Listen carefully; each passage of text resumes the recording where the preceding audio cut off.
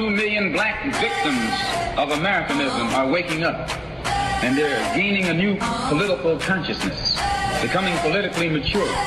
And as they become, uh, develop this political maturity, they're able to see the recent trends in these uh, political elections. That any minority that has a block of votes that stick together is in a strategic position. Determine who go to the White House and who stay in the doghouse.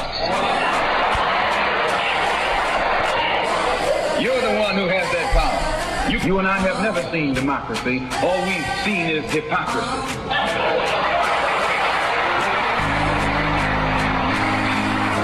When we open our eyes today and look around America, we see America not through the eyes of someone who has who has enjoyed the fruits of Americanism.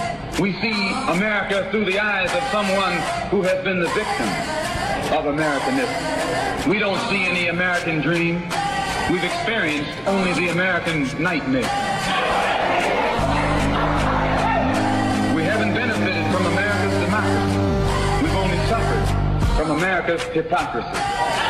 And the generation that's coming up now can see it and are not afraid to say it. And are not afraid to say it. And are not afraid to say it. And are not afraid to say it. And are not afraid to say it. And are not afraid to say it. And are not afraid to say it. And are not afraid to say it. And are not afraid to say it. And are not afraid to say it. And are not afraid to say it. and are not afraid to say it. Welcome, welcome, welcome. This is BlackWestchester.com presents the People Before Politics radio show. We're on every Sunday, 6 to 8 on InTheMixRadio.com, giving you that real talk for the community since 2014. Um, we have uh, a big show. We have three judicial candidates coming on today uh, Judge Tom Daly, Judge Brendan McGrath, and Yonkers City Court candidate Vera Shako. Um, they'll be on today's show. But before that, I want to talk about a couple of things. Let me see what's going on this week. So, as you see, the um, this, we just had the South Carolina primary that everybody's been talking about. It seems that the reports of Joe Biden's, the people who wrote Joe Biden, the, the people who wrote Joe Biden's political obituary, Obituary. was a little premature because Joe Biden kept telling everybody, "Oh, don't worry about the first three. Wait till we get to South Carolina." And everybody's like, "Oh, he's gone. It's, it's a wrap for him." He's now um, he won um, 48.4% of the vote, earning 35 delegates, bringing him to, uh, I think, 50 delegates, which took him from damn near last to second place, um, just under Bernie Sanders, who now has uh, 58 delegates. Um, Mayor Pete, who won the first primary. And everybody was like, "Oh my God, Mayor Pete's gonna do it. He's gonna one be the one that win." Oh God, he he somewhere. he uh, didn't score much, and he is knocked down to um, third place with 26 delegates, almost um, close to 30 delegates below both Biden and uh, uh, uh, Bernie. Um, uh, Elizabeth Warren has a, a whopping total of eight delegates so far, and Amy Klobuchar has seven delegates so far.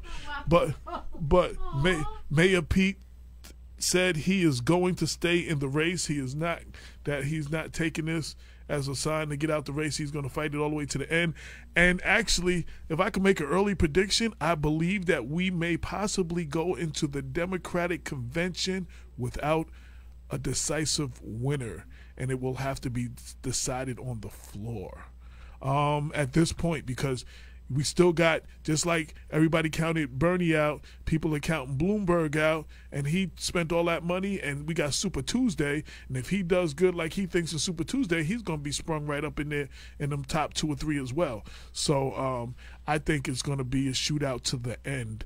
Um, a couple of other things. I was Damon and myself were a bunch among a bunch of people who were blessed to see a private screening of the killing of Kenneth Chamberlain. Um, we went to the the, the first one Thursday. Um, then they had another one Saturday. I got to meet uh, the actor Frankie Faison, who plays um, Kenneth Chamberlain's father. Y'all know Frankie Faison from the the the the super in Coming to America. Uh, you know him as Pops, owner of a barbershop, and Luke Cage. You know him as a detective in The Wire, and various other things. Yo, to meet this brother was very was very good. Um, he's very humble. Um, I was I was, and he, um, I would Sandy Barnaby was there, and one of the things we talked about. Neither one of us actually met Mr. Chamberlain. Um, you know, I was in Atlanta. I came back in 2014. He was killed in 2011, and both me and Sandy both were talking about watching that film and seeing Frankie Faison. We felt we met Mr. Chamberlain. That's how good he played that role. We felt we actually met Mr. Chamberlain. Like he he transformed that role, and um, I, I'm I'm where it's you know the movie is is um, going to a few more film festivals, but when I'm gonna say when, not if, when this hits the big screen, everybody needs to go out and see this film. Um, well, it's not even scheduled right now. It's just, it's just at the at the film festival level, trying to get you know a distribution deal or whatever. It doesn't have anything like that as of yet. Um, but um, I know that you know th- this the, this this is a, a a great moment for the the the fight for justice, the nine year fight for justice that Kenneth Chamberlain has been in. A lot of these people, you know, um, I always say, I've said it to him on the show. I've said it to him every time I see him. When your father gets killed by the police department in the city that you live in, and you have to see these same officers in the street, and officers even told him "f you" when he was trying to get answers and called his father the N word and etc. It would be understandable if he had a F the police mentality. But this man started the Westchester Coalition for Police Reform and is working with every um, police commissioner and every department that will that will work with him to for better police community relations. You know what I'm saying? Like that's incredible. I don't I don't I would like to think that I could be that big of a person if the police department had killed my father. I don't know if I could, but I give him credit. And then you got to feel like the victimization, like all the other families, like um, Constance, Malcolm, we call her Little Miss, um, the mother of Ramarley Graham, she was there, and a couple of other um, um, family members of victims of police brutality. They was there and they spoke. And it's like once you once you don't get any convictions and nobody goes to jail, it's almost like being victimized twice. Um, it's the inspiration of a new book I'm writing on police brutality. I'm gonna tell y'all way more about that in coming coming future, but I'm working on a book right now on police brutality. Um, it deals with that case and several other cases and the frustration, um, why there is the frustration in the black community. A lot of people don't understand when I when I would get on these radio shows on WVOX and WFAS and all these other shows that you know the white listeners will ask why are they so angry? Why are they so frustrated? Why do they riot? Well, this book hopefully will answer those questions and it is definitely meant to disturb people and make people uncomfortable. Um, I have a quote on my Facebook page um, um, from from um, from um, I think it's I think it's from Muhammad Ali.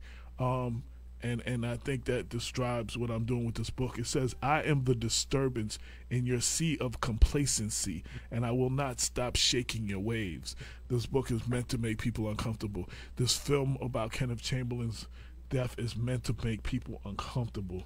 Um, and um, I know I'll be working on the book. I'm working on the book every day. Hopefully, I'll be finished the first draft by the end of March, and um, I'll be keeping y'all up to date on um, the status of the film. Um, just keep looking out for that. It's the killing of Kenneth Chamberlain. It was in the Austin Film Festival. It um, won a couple awards. It's going to a couple more film festivals. I got to talk to the producer and the director and all of them. So um, I just wanted to put that out there. Shout to um, Nesta Felix. She had her her winter ball last year. They honored. I was one of the honorees last year, and the first one is the second annual one. Um, but unfortunately, it was Thursday. I was I was asked to um, co-host it with um, with Andre Wallace, who hosted last year. Um, but I was a, I was at the uh, VIP screening of the Kenneth Chamberlain, the private screening, so I was not able to go. I couldn't be in both places, unfortunately. But um, shout out to her. I heard the event was very good. Um, they honored a couple of people like uh, former Senator Ruth Hassell Thompson. I know they honored uh, the Mount Vernon City Clerk George Brown, who just retired on February 28th. Um, this is the day before his retirement, before he retired officially. Um, so congratulations to him as well. Um, and they honored a few other people, Shanice Coleman, who's been on the show, and so a few other people.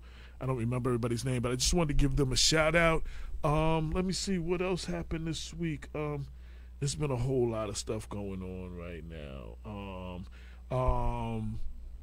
The the the Westchester DA race is continuing to heat up. Um, I think we talked a little bit about it before. We had wrote an editorial why uh, the Westchester DA Anthony Scarpino had not released his bad cop list um, when all of the um, district attorneys from the city had released theirs in October, November, and December. He had yet to release his, and I think we put some pressure on him. And he did release his, and then he got a lot of flack. he's regretting releasing that list. Right, he's he's he got a lot of flack um, from the Yonkers PBA. Ken Olson, Olson, that's his name. Keith Olson. Olson. Keith, oh, sorry, Keith. Keith Olson. Um, the Westchester County PBA. Oh, yeah. um, I'm, I'm, gonna get you in a minute. Westchester County PBA. Um, and a few others uh, have come out about his list, and um, the, the the the names on the list included his own investigator Andrew Ludlam, um, who was an investigator in his intel squad, I guess, or whatever you call it. Um, um, without further ado, let me um, get on the screen for you my lovely co-host Lorraine Lopez is in the building. Say what's up to the people. Hey. Yes, yes, yes, yes. Now I know um, you had some feelings about the list about Yonkers, and you had made. What was your thoughts on that? The bad cop list. You had made some. Comments. You know, I, I just find it interesting that the bad cop list for Westchester County has four Yonkers PD on it. One is a, just a recent one, the one that was caught with the theft. I mean, he just recently got on the list, maybe last month.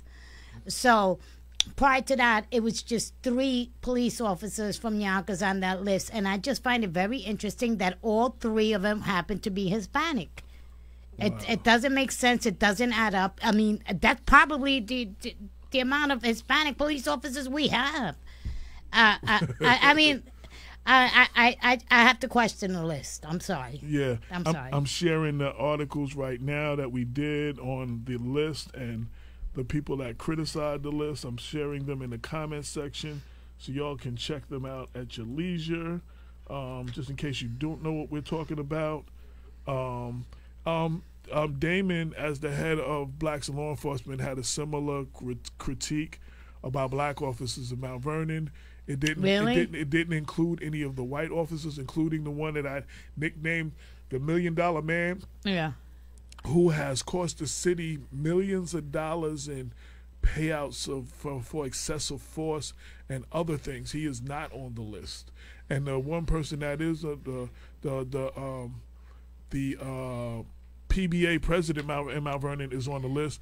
But no. he's on the, but he's on the list for like something domestic that like I guess some that happened, happened, well like 20 years ago, right? Right. So okay. it was just like um and and and um you know and then there's a couple of people on the list um ken ken olson was complaining a keith couple olson. of keith i'm sorry keith i keep saying ken sorry my bad um, he was complaining that some of these people had like a DWI. Like this list is supposed to be a list that, of people who they can't, they're not credible witnesses at trials because they falsified information, they've lied, they've done things of that nature, that they're having a DWI, which is never a good thing, but having a DWI in your personal life 10, 20 years ago does not make you an uncredible witness um, now. You, you, know what I'm saying? Like, that does not make you an uncredible witness in an arrest that you made now. Like that that has nothing to do with what the list was supposed to be. So, do you, you think know, that list was in existence, or, or he put it together real quick because I, I, I, I can't now I can't say that the list didn't exist because I, I do know that I heard early on that the um, list was included his his um, one of his investigators. He just didn't release the list. Um, Oh, okay. and and and and it, and it has the appearance. Now we reached out to um, us Da Scarpino. He's scheduled to come on the show March 29th, and we'll give him a chance to talk about that on for himself and and, and answer to all that. it has the alleged look. It has the appearance of that list was created and put out because of the pressure we put on him about not releasing the list. I can't say that's the reason he released it, but that's what um, that's what's being said. And that is what's being said. So I'm telling you, I, I, I, I'm sure he's regretting releasing it. I think he probably would have would have dealt with arguing back and forth with Mimi, Mimi Rocah over it than having to deal with PBA presidents being angry at him. I mean, do you, it's, it's probably going to cost him one or two endorsements. yeah, and, and, and, and he's running for reelection, and you know he's probably going to have problems now with the police unions. Throughout Yeah, that's what I'm saying. with- Throughout all throughout all of Westchester County because of the list. Um, you know, um, which is not. Let me be honest. Which well, is not- listen, it's, called not- the adverse credibility list. Right, we call and it- I think there's the a credibility question with the credibility list. right. And we nickname it, it's nicknamed the bad cop list. That's I just been calling it. But um, as you said, so so this list, and I just want to say, so this list is a list.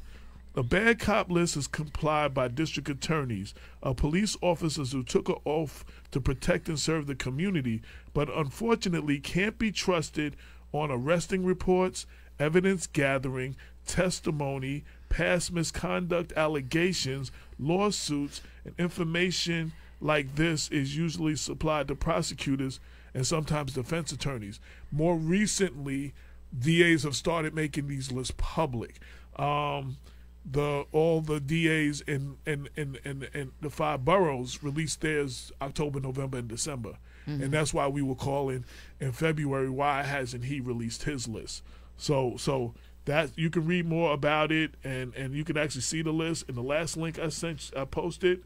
Um, it actually has the list there, and again, these people that had DWIs and stuff don't fall into that criteria of the adverse credibility list um, of their professional conduct on the job.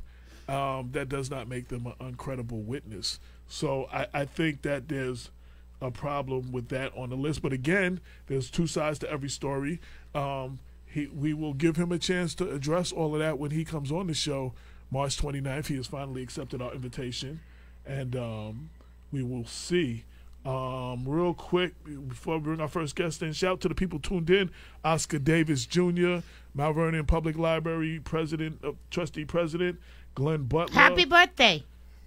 Ha- He just had Oscar. Yes, yes. uh, he had a birthday. Happy birthday, yes, again, Oscar. Glenn, Glenn Butler, I saw him at the Kenneth Chamberlain screening. Uh, Pat English from Strong Island, from uh, Central Islip of Long Island. Um, Nancy Cater, Maldonado. Hey, Nancy. Um, Dr. Bob is not in the building today. I forgot to give him a shout out, but he is tuned in. Dr. Bob's in the lab doing some research. Got some research projects. He's working on some stuff. It might be a book coming from him sometime soon. I'll let him share all that next time he's on. Ty Hardy, Paul Anthony Cuesta, um, who also was at the screening. Um, uh, Delphin uh, Husler, Ken Bright, um, and Delphin said Black Westchester Magazine always does a great job. Thank you very much. Dawn Tyson, um, um, who else? Uh, Daniel Terry, um, Yonkers Councilwoman Tasha Diaz, um, New Rochelle Councilwoman Yadira Ramos Herbert, uh, Chris Breezy of Mount Vernon, uh, Marvin Church, friend of the show, and of course Uncle Frank, Frank Trulio Jr., another friend of the show. Uh, Ken Bright says tarnishing the decent cops is not right, and and, and that's true. I, I believe there is a need for this list, but we um we um it, it I, I don't think that this was done uh, right. Without further ado, we're going to get into our first guest. Uh, Lorraine, can you ask him to come in uh, real quick and introduce him? Um, Bob said yes, yes, AJ, and says hello to everybody. Um, we got a full show, like I said before. We have our first guest. I'm going to let um, pull the mic up close to you. Um, you can, if you want to, sign into your Facebook or whatever on your computer, um, and, and, and whatever social media you want to do. You can do all of that. Um, oh, you don't have to do anything. You don't have to do You anything. Just hang out with um, us. the the show the show is the show is streaming live on my Facebook page AJ Woodson and you can share it to your page so your people can see it as well and uh, Wait, shout, wait, shout shout to out Johnny Limo. Hey, John. Shout out to Johnny Limo who's tuned in and Lorraine. Lorraine, Yeah. shout out to Lorraine Lopez. For? She is the one who scheduled all today's guests, the three judicial candidates. So I want to give her a big shout out. She put this show together. Um, and I'm going to let her introduce the first guest. All right, our very first guest today is, well, you're sitting judge now, currently, Correct. are and So Yes. this is the Honorable Judge Brendan McGrath. Okay. Uh, he was appointed, a former Inspector General for the City of Yonkers, appointed to the seat of City Court Judge by Mayor Spano, Okay. and is currently running for the, the spot that he is in. Okay, congratulations and Thank you much. Um, welcome to the show. Sound effects. Yes, yes, yes, yes, yes, yes. Yes. Um, Johnny Limo said good evening to all. Um, Hey so, John. How are you? so um, go ahead, uh, Lorraine. Uh, start the questions. off. Oh, oh, okay. Um, I thought you would do okay. I'm gonna let you start. Now what? You what? Check this out. You know what I did? What did you do? Since we have judges and there were certain things you guys cannot speak about, I went on the internet and I found ten questions that we can ask the judge. Oh, candidate. see, there you go. Now let's kick it off with that. and she dressed the part too. She looks for a little judicial today. I don't want to get on nobody's list. That's it. Um, first of all, why? No, the the basic question is why are you running for judge? Good question. So, um, I have a, a yeah, I have a 30-year career in, in public service. Uh, I started off in the New York State Assembly, working as a legislative director. Um, I went to law school after that. From there, I went to the county attorney's office in Westchester. Uh, I worked uh, with the Department of Social Services, uh, helping them prosecute uh, cases of abu- abuse and neglect. Um, from there, I, uh, I went to uh, I, I came to Yonkers to the Corp Counsel's office uh, for for about two years, and then I was appointed to the uh, the Office of Inspector General. So, given the experience I have, I, I believe that um, I have the credentials uh, to sit on the city court. Uh, the mayor was. Uh, uh, I mean, he humbled me by the appointment. Uh, I wasn't sure that that was going to happen, uh, but when he asked me about it, and he, he wanted to meet with me, and he wanted to hear about all the things that I had done in my life that, that would you know that would bring me to this you. point. Yeah. Yeah. So um, that was it, and uh, and then it was up to him, and he made the appointment, and obviously making the appointment, knowing that I would have to run this year uh, to to to um, uh, to get the full ten year term. So that's what that's what I'm running for now. So yeah, I, I believe this is a it's it's a um, uh, it's a progression in my um, in my legal career. It certainly is something that uh, many many lawyers aspire to, and uh, and I'm humbled by the uh, the appointment. And it's been a it's, it's been a tremendous uh, experience for the for the, about the two months that I've been sitting so far. Now, uh, uh, one last question as far as the, the position. We try to educate people as much as possible on the show. So, what's the difference between city court judge and say county judge? There's Right. different cases that you'll hear. We can, yeah. So for for city court, um, we handle we handle the basics of, of, of, of city life, right? So we got traffic court. We have city code violations. So if your grass is too high, if you're drinking in the park, if you know those are city code violations. We have traffic. We have landlord tenant. It's a big part in in, in Yonkers City Court. Uh, there's small claims in Yonkers City Court, and then there's a criminal part in in Yonkers City Court. The, the difference between Yonkers Criminal Court and the county court is that we don't we don't try felonies Okay, in uh, in Yonkers City Court. So that would be where the county court picks up. So, so the person would see you for a bail hearing, and then after that, they would go. Right. So depending on, on the ch- on the charge and how the DA wants to proceed, the DA may may want to keep the, the charges. It, it might be charged as a felony, Right. but they may want to they may want to you know what they do we call like a superseding misdemeanor. They may they may drop the charge so it ends up staying in Yonkers anyway. But if it's a if it's a hardcore crime, it's gonna it's gonna end up in uh, in Westchester County, Okay, okay. and that's the county court. There, there are three positions open, I believe, right, and five candidates. I don't know if Karen Best is still a candidate. She said she well, she said she was running, according to her. When she was on the show, she said she was running. That's all I know. Okay, and then you're running on a ticket with, um, with Judge Daly, Judge Daly and Vereshchuk. Vereshchuk. The the other two guests that are coming. And then today. there's also another judge running who is who will be here. I think it's on March 22nd. I scheduled him. Okay. Dan Dan Romano. He's very very popular. Very Okay. popular out there too, getting a lot of traction. Okay. Okay. So, what is your ten questions that you can ask a judge? I can think now. I'm, I'm about to learn something. Me I'm about too. To, I'm, about to, I'm interested. I'm glad she did that. All right. Can you explain your judicial philosophy in plain English? Yeah, so it's it's it is it is really um it is really Just pull the mic a little closer to Oh, you. sorry. It is really um, the sum and substance of my entire existence. So, uh, you know, I, I was uh, I was born in New Rochelle. I went to New Rochelle High School. I have, um, you know, I went to uh, a SUNY, uh, SUNY Brockport. I, I, you know, I, I all these experiences that I had that I mentioned, my my legal experience, the the, the legislature, the county attorney's office, all that. When I sit on a bench, I bring all that to me. So the philosophy is um, is really, uh, you know, judges need to be compassionate. You know, they need Yeah. to see they need to see the world for what it is. Um, you know, we're not uh, we're not living life inside of you know a bubble. Um, so we take everyday experiences and, and we and we look at them. So uh, it's it's you know compassion is, is one of the things uh, uh, I, I like to think I bring to the bench and is part of my philosophy. And um, and the other things are, are, are what you learn along the way as far as being uh, being an attorney and, and, and practicing in court. Having spent a lot of time in family court, I know that a lot of the litigants are are people who've you know just fell on hard times and it's uh, and, and it's you know maybe it is the fault that uh, their fault that they're there uh, but um, but we need to we need to look at them uh, you know compassionately as we as we make determinations as judges which le- leads me to this question. Well, let me scroll down because this, um, it's a two-part question. okay How do you define injustice, and how would you deal with injustice when you confront it in your courtroom? Good question. Yeah, I, injustice is, I think when, um, you know, we talk about how law enforcement um, may abuse their uh, authority. Um, uh, injustice is when someone,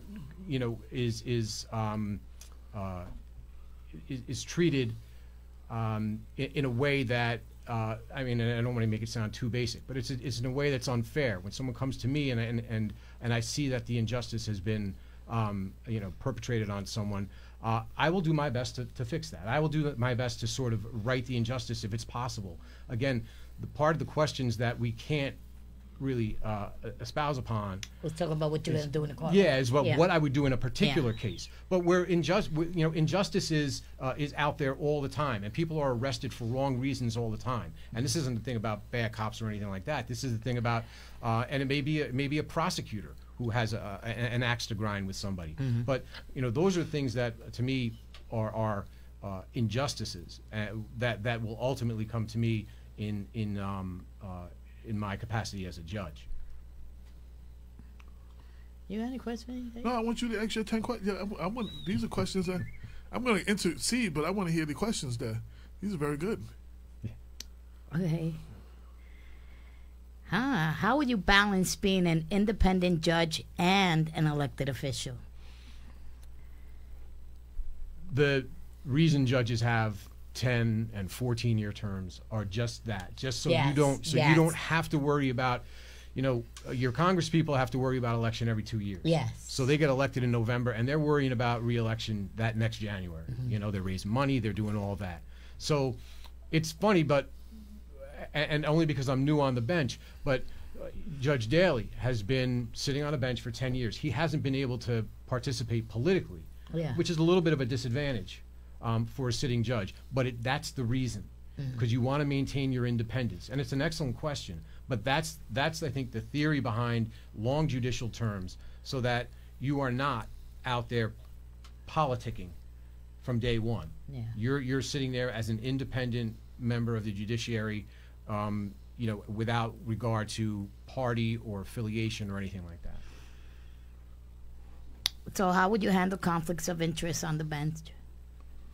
Um, so a very recent example, I, I, I was in small claims court. I walked out, and the, the first case that got called was somebody I knew. Um, so I, I told both parties that I know party A, and um, I, I feel like I can be uh, impartial in this matter, but uh, but you know I, will leave it to the parties to decide whether or not that should uh, I should be I should recuse myself, or, or if they wanted to ask for another judge, and they did and I thought that was fine. But uh, conflicts of interest arise all the time. I will always err on the side of caution.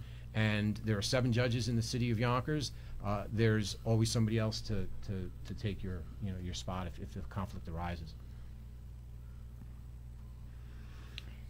So what is that? Three so far? Four? Which, It sounded like ten. I'm kidding. Come on, come on. Keep it going, keep it going. All right. How would you work to ensure equality for people of all backgrounds in your courtroom? But I think you answered that. Yeah, if I, when, if I, when if you, I when can, you when you talked about um, um, go, no, go ahead. Yeah, it c- I, I, and it's a- it's a good question. It's and it, maybe maybe I did touch on it before, but um, you know, I, I the cases come before me, and um, like a small claims, the litigants tell their stories. I mean, and, and it's I don't I, I I'm not, you know, it, it there is no. And I don't want to sound um, trite about this, but there is no color. There is no.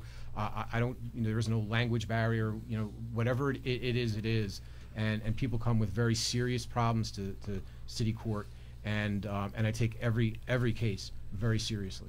Now, can I interrupt? So a lot of pe- a lot of people in the black and brown community feel that you know there's a saying that justice is blind, and a lot of people in the black and brown community feel like she you know peeks under the the the, the, the uh, under the blindfold before she rules. You know what I'm saying? Right, yeah, Sometimes, And yeah, So yeah. um, um, I don't know if you can speak to that or just Well, it's it's look that's just wrong. It's just I mean I'll say it. It's not. I'm not talking about a particular case, but um, the the people that you elect, you should be very very clear. Ask these questions. Ask all sorts of questions that they they don't have uh, these types of biases. Um, uh, judges at, at a bare minimum. Uh, have to be impartial, but they do come to the bench with experiences and and backgrounds and things like that. And so, if you're going to elect a judge that you want to to represent, um, you know, your community, you better be sure that they understand the community.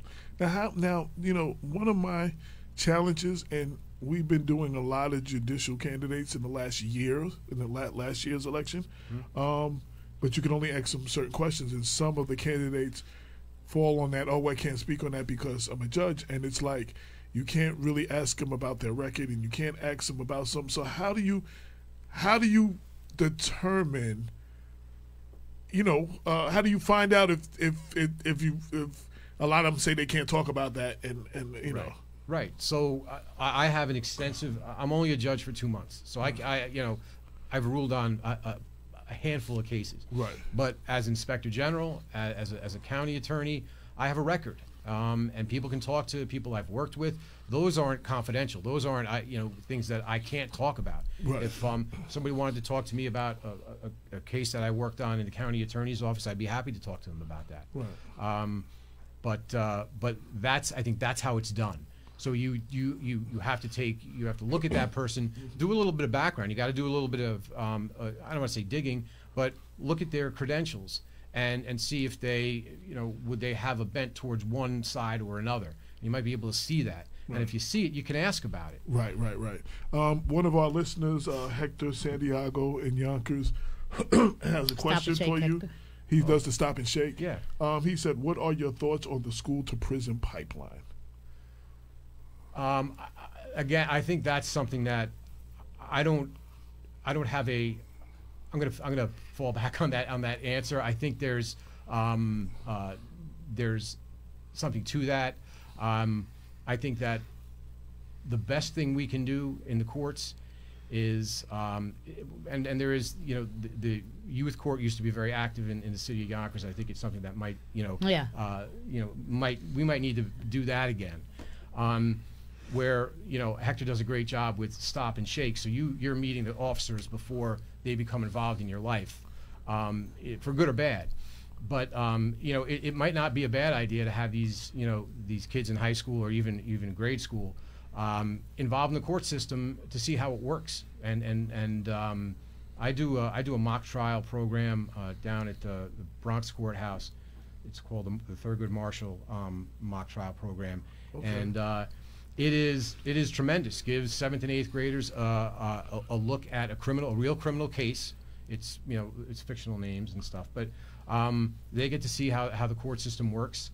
Um, I'm not sure what the what the rate of uh, you know whether those kids end up doing better than any other kids, but uh, but I think it I think it does. I think it helps them tremendously.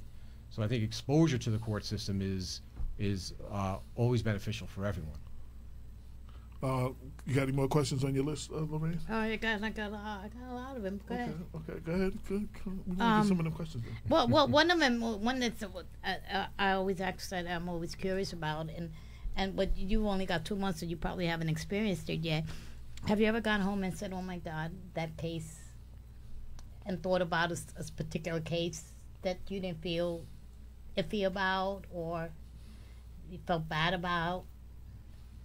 Um, no, and it maybe it has something to do with the with the with the, the short the shortness of time that I've been on the bench. But again, I think that's something that if I I feel that would be like talking about a particular case, and I don't I wouldn't want to do that. But like your Yeah. your question is, have I ever felt that way? Yeah. In the two months, I haven't. You know, so that's just an honest answer. Good, good, good. on, on the county, you said on the county level. So, um, we've had a couple. Of, I'm working on a book on police brutality, and that's something we deal with heavily on on the show Right. because our community faces that nationwide. Um, have you been in? A, did you have you had the privilege, or have you been involved in any of the um, police? You know, brutality cases. No. Do you have any of that on the county level? Have you Uh, dealt I- with? no, when uh, when I was in the county, I did I did uh, uh, only family court. So Okay, we did um, uh, abuse and neglect cases, uh, and, I, and in, in that capacity, I represented the Department of Social Services, Child Protective Service workers. So um, I have not had any um, uh, uh, legal experience with with that. Does a judge have a boss? Yes, yes. So there are administrative judges that um, oversee various levels of courts. So our court, the city court system, is overseen by Judge Sam Walker, who's a Supreme Court judge. Okay. And so he's the administrative judge for the city courts. And so I, I don't know if you'd consider him a boss, and I don't want to get in trouble, so I'll say he's my boss. but anyway, he certainly is uh, the person um, in charge of the city courts and make sure that things sort of run on time and, and that all the cases are, you know, that we're meeting our what we call standards and goals. Now, now going back to Inspector General, when you was Inspector General, is there any, is there anything in that you can say you leave with that you initiated or you did so well that you like really? I'm sure you're proud of everything you did, but is there anything in particular that stands out? Well, the thing about being inspector general was, and it was sort of a joke. It's it's nobody wants to, you know. You, you- when I became inspector general, I had a lot of friends in City Hall, so you know where I'm going, right? So when I left it, uh you know, people would people would turn the other way in the hallway. People would, you know, sort of if there was a lunchroom, I could clear it, but there wasn't. Anyway, so. Um, in, Inspector General, I'm a pr- I am proud because there was a we had a good staff that worked with us. Uh, you know, people who did you know in, in investigators. There were you know, an accountant in the office. There was uh, another attorney um, who worked with us. So I was really proud of the work that we did as a team. And um, to say that, and there were some big cases. The the overstatement of school aid back in 2014 um, was a was something that took a lot of our office's time and energy, and um, and there were a few others, but but um, to say that you know I'm proud that that particular case, the overstatement of state aid. I don't know if you remember that, but it was like the 55 million dollar Yeah. error in um, in accounting. It led to some changes at, at BOE at the Board of Ed that um, I think are helpful today. You know, sort of the con- consolidation of some services. I think they, you know, the, I, I- I think there was some middle management that was missing. I think they've uh, they've addressed that, and and so that's not likely to happen again. Well, the um, the person that now is the inspector general is a, a very dear friend of mine. I served with at the city council many, many, many years ago. Right. Uh, or do you support him? Are you happy that he's in Um, there? look, I, I think I think Liam's a, a, a good, a great choice because he's he's got a few things, and, and, and I didn't really consider it until until I heard him. Uh, I think it was either at his, he was at his when the, when the mayor swore him in. Um, you know that he's, I, I didn't really. He's a CPA, which is there are two things that you need to be to to be inspector general. Um, you need to be either an attorney or a CPA. He's both, but he also brings this experience. Um, of Yonkers, of knowing Yonkers Yes. government Yeah. in in sort of an intimate way. And someone asked him a question whether or not you know he was, you know, he was too intimate with the city. But um, knowing Liam, I think it, it, it only works as a benefit for the for the people of Yonkers that he knows the government so well. Now, as a sitting judge, back to to the, Mm-hmm. the city has a new ordinance panhandling. They're gonna be. Do you know that those that are gonna come in front of you are not gonna have the money to pay those tickets? Right, that might be true. But then again, I'm thinking if they are repeat offenders, you could not you, but a judge can probably send them to get some type of treatment, and that was gonna save their life. So, like, Right. So not not What- what do you think? Right. So not answering on any particular issue. Yeah. Right. So we're not talking about uh, someone who's a panhandler. yeah, anybody who comes into our court that um, is, you know, has a mental health issue, that is um, seems or appears to be under the influence, or maybe they don't show up for a couple of times because they're they're using. Um, the court does have the ability to to um, refer those uh, individuals to the appropriate um, uh, uh, treatment uh, programs, and that happens. And you say something that's really important. That that um, may save someone's life. It may we. You know, I the think it will. I think it court will. may catch someone at, at the point in their life when they need that. yeah. Let me let me let me piggyback off that. Um, my partner of the, uh, he's not here today. Damon K. Jones. He's he's a 30 year veteran of the Westchester Corrections and the head of Blacks in Law Enforcement of America. Um, one of the questions he always asks, um, speaking personally as a correction officer, but um, and he sees it firsthand with the new bail reform. Um, Westchester County uh, Corrections had a lot of programs to help um, inmates when they were in there. Right. Now with the bail reform, which the, the bulk of the people sitting in there was sitting in there because they couldn't afford bail. Um, we need we I believe that the money that was spent because there's some figure like a hundred thousand to, to house an inmate for a year or something. Uh, that we need to utilize some of that money in creating programs like these programs help them when they're in, but now some of them won't be in. We need some of these programs outside, you know, and Right. maybe a, a preventative measure to help prevent them from going in the first place. Right. Well, there's um, again, without getting, I'm not, I'm not going to get bogged down in the bail reform law, but but you're right. That the point is that where people used to be remanded, Right. you know, now they're not. Now they're what we call ROR. They're released on their own recognizance, and they're and they're out in the community. But the court still tracks those cases regardless. I mean, and so there are the court does have the ability to uh, refer uh, a, a particular um, individual to a program, and so when they come back, you know, because they're ROR, they come back. Um, they can then um, give us an update Okay. um, on on how they're doing. Are they attending there? Are they attending? Are they you know those sorts of things? And those will go towards um, in, in, and again, not talking about any case in particular. Right. But the judge will then say, okay, you know, John's working towards a you know a, a program. Maybe he finished a program. Right, right. So that that that helps when they're making a determination, a final determination on on the on the sentence.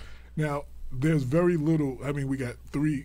we only got two hours, and I got three candidates. So y'all each got you know a little more than a half an hour. So it's not, but so much you can learn in a half an hour. Okay. so for people, But enough, Wait, wait, enough for but the listen, people. But listen, Yes. but for people who listen in, they want to know more about you. Um, maybe want to get involved in your campaign, or they just want to be able to read up more. Is there a website, social media, people? Right. Can, So I, I got I got to be really honest with you. Before January, I, I wasn't on Facebook. I wasn't on Instagram. I wasn't, you know what? I had I had he was Inspector General. You know, Right. they sit up in an office all the way in the top of City Hall, right, right. locked up in a dungeon far away. I had I had email. That was right, right, right, right. anyway. So, but now I do. I have a uh, there's uh, Judge McGrath. uh, Judge Brendan McGrath is my is my Facebook, and people can go there. Um, you know, if you have a question, you can ask a question. Again, people people need to understand that I, I can't answer everything, but but if there's a question, um, uh, certainly that I can answer, I will. Right. Uh, you can learn about me. You know about what I'm doing um, during my campaign. You can learn about it in, on, on Facebook, and I think that has some other um, might be um, a a direction to a website as well. Okay, okay. And and it's important to note that he he was appointed by the mayor. He's currently sitting judge. He's running for and he's running for election, and he is the the Democratic Party's endorsed candidate. So since there was um, last year, since we had a lot of judicial candidates on, and there's so many things I can't ask you. I, I came up with three questions that have nothing to do with the campaign or anything. All right. Just to ask you, just for the heck of it. Yeah. So, so if your house was on fire, you could only grab three things. What would they be? My wife, my son, and my daughter. Ah, good. Um, if you were a superhero, who would you be and why? That's a good. Um, Inspector General, the Invisible yeah, Man. no, no, no. I, I'm not gonna. I'm not gonna. I'm not. I'm gonna answer it. Um, you know, uh, growing up, I just, I, I always, I always loved Superman. I mean, Okay. and I just felt like, you know, he was, you know, he good versus evil. You know, Right, the right, right, So right, yeah. I'll say Superman. Okay, okay. Actually, there's only two. I couldn't think what the third. No, one uh, was. there is no third. Okay, so it's just there was just two. So there's just two. I asked all of them because it breaks up the monotony. That's You're right. not going to get these questions from anywhere else that you, That's right, you're on the campaign trail. I welcome you. yeah, yeah, No, yeah. it's nice. Yeah, yeah. So, is there anything more importantly? Is there anything we have not asked you that um, you would like to speak on as far as your platform, about you as a person, about pe- why people should vote for you? Anything that we haven't Right. actually want to add on? your- Sure. Um, I think you know I've been um, I've been living in in uh, Yonkers for uh, for over 20 years. Raised my kids here. Um, plan on staying here for the rest of my life. I think that uh, um, you know in in the jobs I've had up until now, I've always approached it that this is my home. This is where I want my kids to live. I want them to raise their families here too. So um, if, if people are concerned about um, how I'm going to be as a judge, um, I'm going to be as a judge like I am as a dad, a parent, a volunteer coach, anything else. I'm looking out for the community. I'm making sure that people are safe, that the community is safe, and that um, that you know it's it, Yonkers at the end of the day is a place we can all be proud of. And um, last question I have for you. I don't know if Lorraine has any more. No. Um, who is Brendan McGrath the person, not the candidate, not the judge? Right. Who's Brendan the person? Right. So what I love to do is I coach my son's uh, uh, CYO basketball team. I've done that. He's 16. I've done that since he was five. Um, I like to play basketball. Um, uh, know- What position? Which position? Really? so I'll be a shooting guard, let's say. All right, in, in the best in the best world. Um, in any case, I, I you know I, I enjoy that. I, I play the guitar. Um, you're not not in, you won't see me at a bar, but I, I play for fun, for amusement. Um, I have um, you know I, I I have two kids. They're 16 and 18 years old. My daughter's in college. So uh, that's a big part of my life. You know, we, we visit my daughter at school, you know, occasionally. But um, but yeah, I'm a family man. Um, enjoy sports. Uh, play fantasy football. Um, you know, uh, Do you have any pets? I don't. Um, but I grew up every year of my life. I had a dog until I moved out of my parents' house. Wow. And uh, my um, my wife is, is allergic, and but we've we've found breeds that, that are you know hyperallergenic, and, and you know we're trying we're working on it. You're considering it. yes. Um, you said sports, Yankees or Mets? Oh, Mets. I'm not gonna. I'm not gonna. I see you got a hat on. So Uh, no, but, no, no. But, I- But but that's just, you that's just, you know, some of us wear these hats. They're just they're hats. I you know. I know. The Yankee hat is the hat to wear. like, It is. yeah, yeah. It is, and there's no doubt. Um, but but I, I I, I own the Mets. I, you know, like I like them. I know it's a tough time for them right now. I was but, uh, I was a big fan of the ni- the eighty uh, the the Darryl Strawberry Dwight Gooden Yeah. era. Yeah. I was a very big fan Well, of that was a that was an era that came off a very low point, you Right. know, from the late '70s into the early Miracle '80s, and then Mets, they yeah. they drafted The amazing Strawberry yeah, and yeah, Gooden. They got Keith Hernandez. They got Gary Carter, Yeah. and that team. The, the the sad part about it was they only won one World Series. yeah. It was tough, but yeah. hey, they won one. Um, football. Uh, Giants. Uh, Jets. Uh, Giants. Okay. Yeah, yeah. Okay. Um, you said you said you like to play basketball. Uh, Knicks or Nets? Knicks. Knicks. Okay. Knicks, Um, yeah. I, I'm a lifelong Knick fan. A lot of heartache there. Um, very- yeah, very- yeah, yeah. Look, lot, lot of heartache there. I tell you what, you know, uh, you say, you know, currently could I name, you know, the players. of Knicks? I, I probably couldn't either right now. No, I was when when when you know The Ray Williams was there, Bill oh, Cartwright. You know, yeah. those. I mean, those are teams that I, I when I was real little watching Yeah. and li- really loved them. like Yeah, I w-. I've been a fan since uh, Bernard King. yeah, I, I love the Patrick Ewing, John Starks, Anthony Mason, Charles Oakley era. Oh That was- good- that was great. That was like when you knew That series like, against even- Houston? yeah, it, yeah. Even even when Jordan beat us, when he left the arena, he knew he was in a game. That's he right. got a beaten. That's he got, right. Yeah, That's you, right. You didn't come through that middle at all. That's yeah, right. yeah. Um, anything else we didn't ask you? Anything else you want people to know no, about you? I, I, I I think this was great. I, I appreciate you guys having me on, and um and like I said, if people if there's something that people didn't hear that they want to know about. You know they know how to get me. Get me through Facebook. You know, uh, message me there, and I'll, I'll I'll I'll let everybody know what I can. You know? okay. And if and if you're a Democrat and you're registered to vote in the city of Yonkers, um, folks are going out there with their petitions, knocking on doors. When yeah, when is the petition start? Yeah, so I came, right before I came here today, I was petitioning um, Okay. most of the day. So it started um, on the 25th.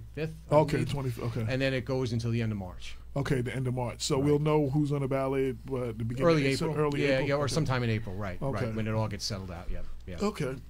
Yep. Well, I wish you well. Thank you so much.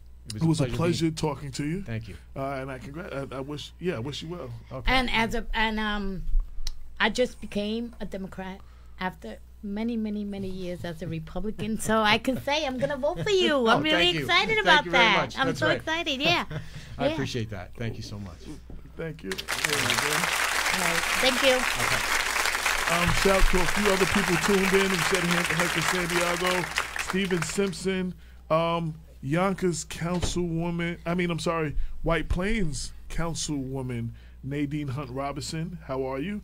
Um, Oh, oh, oh! She knows my sister. You know my sister, Miss Robinson, Councilwoman Robinson, Susie. She told me. Oh, okay, Susie. She, uh, she from knows the her from the bank. From the bank, yeah. She's, Yeah. Okay, okay. Yes, good people, good people. Um, is anybody Alita Johnson? I didn't mention her before. We said Johnny Limo and everybody else that's tuned in on any of the other pages that I can't see.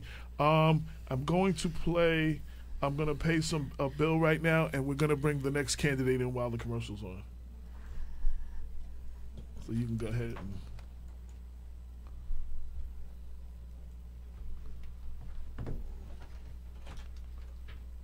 Thai Associates is a I forgot to uh, switch screens so people can see it. That's what's supposed to be on. Bear with me, people, and here's a word from our sponsors. Thai Associates is a BBB accredited financial firm serving Mid Hudson, New York, and the surrounding areas. From tax return preparation and amended returns to refund planning, we offer reliable financial services with keen attention to detail. Since 1998, we have proven the quality of our service with our clientele reaching across all 50 states. Thai Associates manages the Mets. Money, energy, time, and space. Let us go to bat for you. Thai Associates, tying it all together. And that is our sponsor. Shout out to Thai Associates. Um, they are just renewed their commercial. We we're happy about that. Um, and and everybody out there, you too can advertise your business or your organization, or if you're a candidate running for office, you can too. You too can have a 30 second commercial spot on uh, Black um, People Before Politics. Email us at blackwestchester at gmail or advertise with bw at gmail for rates and uh, we have specials that that uh, packages that include the website and the paper and social media and all that other good stuff. So, without further ado, we're going to get into our next guest. Again, uh, Lorraine has put this whole show together. With Jen, Jen Oakers. W- Okay, but I mean, as far but salute far- to the lady. but I'm saying, as far as like on the show, though, I didn't put the show together. Yeah. I'm giving you your props. So, uh. Lorraine is the the, the, the co-producer of this show. She, she co-produced this show. Um, I'm giving you an invoice afterwards. okay. so so um, would you like to introduce the next guest now? Yes, the next guest, guest is, um, you know, I'm really, really excited Okay. um, that she's here and that she's running. Uh, Miss Vera Shako, she has, is the nominee from um, one of the. Um, I remember I said there's there's three slots and there's five people running. She's one of the Democratic nominees running for this spot. okay. Okay. Welcome to the show. Let me Welcome, get- Princess. Thank you for having me. Yes, yes, yes. Well, I'm really, really excited because. As, Shout, shout to Jen Elka. She's tuned in right now. Hi, Jen. She's and uh. Wayne Robinson Sr., my cousin. Uh, what's up, cuz? Go ahead. Um, we have an African American woman running for judge. Yes. So so uh, let Do me ask you a question. know how exciting well, well let me is? ask you a question. Have we had any African Americans on the Yonkers City Court yet? No. Uh, uh, uh, men, we, uh, we Yonkers, have, no, not African American uh, uh, wo- women. not women, We've not had women. three African American men. So just so you know, if you were to, if Yonkers, if y'all were to elect her, she would be the first She would be the first, African-American yes. woman to serve on the Yonkers City Court. Yes, Okay, there you go, there you go. So so a um, lot to be proud of. So tell us who you are, not the candidate, but who you are.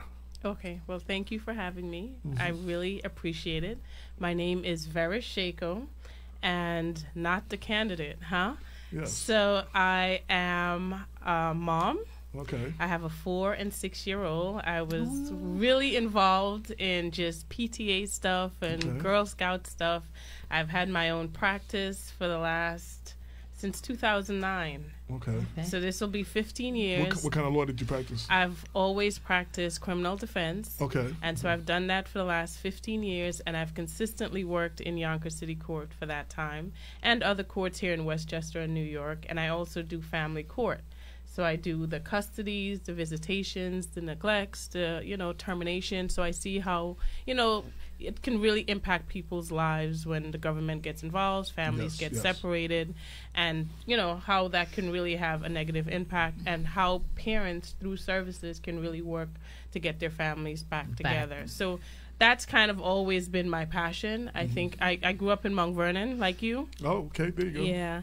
And since I was a teenager, I just wanted to be a lawyer. So I finished high school, college, law school. Mm-hmm. And I remember going on an interview and trying to chase the money and saying, I don't want to do this. I mm-hmm. want to serve my people. I want to follow my passion. I called up the Legal Aid Society and took a job there. They assigned me to Yonkers City Court. Oh, how cool! And that was 2005. It's 2020, and I'm still going there consistently representing members of my community, making a difference one person at a time. Mm-hmm. And I wanted to continue on. And there's an opening on the bench. It's not that we're trying to get rid of someone who's there, there's an opening, someone There is new an will be placed there. So I said, why not someone who's been in the courts for the last 15 years, committed to serving the community, getting that opportunity. So I worked really hard at it, worked hard at getting the nomination, and I was successful. I'm the first African American woman to be nominated to run for Yonkers City Court Judge. There you go, there you go. So how do you feel your work in those in the court up to this point um, will help you Trans- um, transform. become a, a great judge? I think it gives me perspective as to the people who will come before the court mm-hmm. and what their issues are. I think after working with people for this long, mm-hmm. you know, what I've always respected about Yonkers and the judges in Yonkers, I just want a judge who will take the time to listen, Mm-hmm. you know, and treat the litigants with respect and patience mm-hmm. and just hear them out. And I've seen judges who've not given people what they want, but treated them in such a way that they felt like they had their chance to be heard in court. And I think that's what it's about. No matter what part of Yonkers you're from, no matter your social economic status, you should be treated the same. Mm-hmm. And I think that's the work I've been fighting for the last 15 years. That's what I've been fighting to do for my clients. And that's what I'll bring to the bench an ability to listen to the people that come before me. Now, now I, the the last candidate that was here, um, one of the things I said in our community, the Black and Brown community, Um, there's a saying, you know, they say that uh, that uh, the, uh, the justice is blind, but in our community, it seems like um, she peeks through under the, the blindfold before she rules um, um, and sees as one of us, and then you know comes down hard. Um, you, why it's important to have an African American female in, in that position? Because you have perspective. Right. You know, you, um, as a judge, you would be able to relate, and all judges should be able to relate to the people in Mm-hmm. front of them and see them as people Mm-hmm. and treat them the way they would want, you know, someone they cared about to be treated. And I think that's what I would bring to the table. I've represented people from all backgrounds. You know, I've represented people who had money, people who didn't have money, and everyone, you know, parents who had their kids incarcerated from all different races and backgrounds. They just want to be treated fairly. They want to understand the process. They want to be treated with respect, you know, and that's what I would bring to the table. And one more question, and Lorraine has put together a list of questions that you can ask judges. She pulled up, so I wanted you to find some questions you haven't asked yet to ask her, but I want to ask you first. Um, so, so you know, as we said, we feel as African Americans and Latinos, we feel like we don't always get a fair shake from judges, especially the ones that don't look like us. So, um, as an African American woman, um, in a world that is still racist and sexist, um, what if you had um, someone come to your court who I don't want to say white supremacist, but had that attitude, you know, towards uh, towards us, and um, how how would you could you be fair and partial in a situation like that? I mean, I think after doing this kind of work for 15 years, you encounter all kinds of people Okay. from all different backgrounds. Right. And I think it's incumbent as a professional, as a lawyer, as a judge, not to lose your cool. Right. And if you find that you can't maintain it, then it's your responsibility to walk off the bench. Okay. So that's what I would do. I mean, I've kind of, you know, I've done what I needed to do to remain professional. I think that's very important.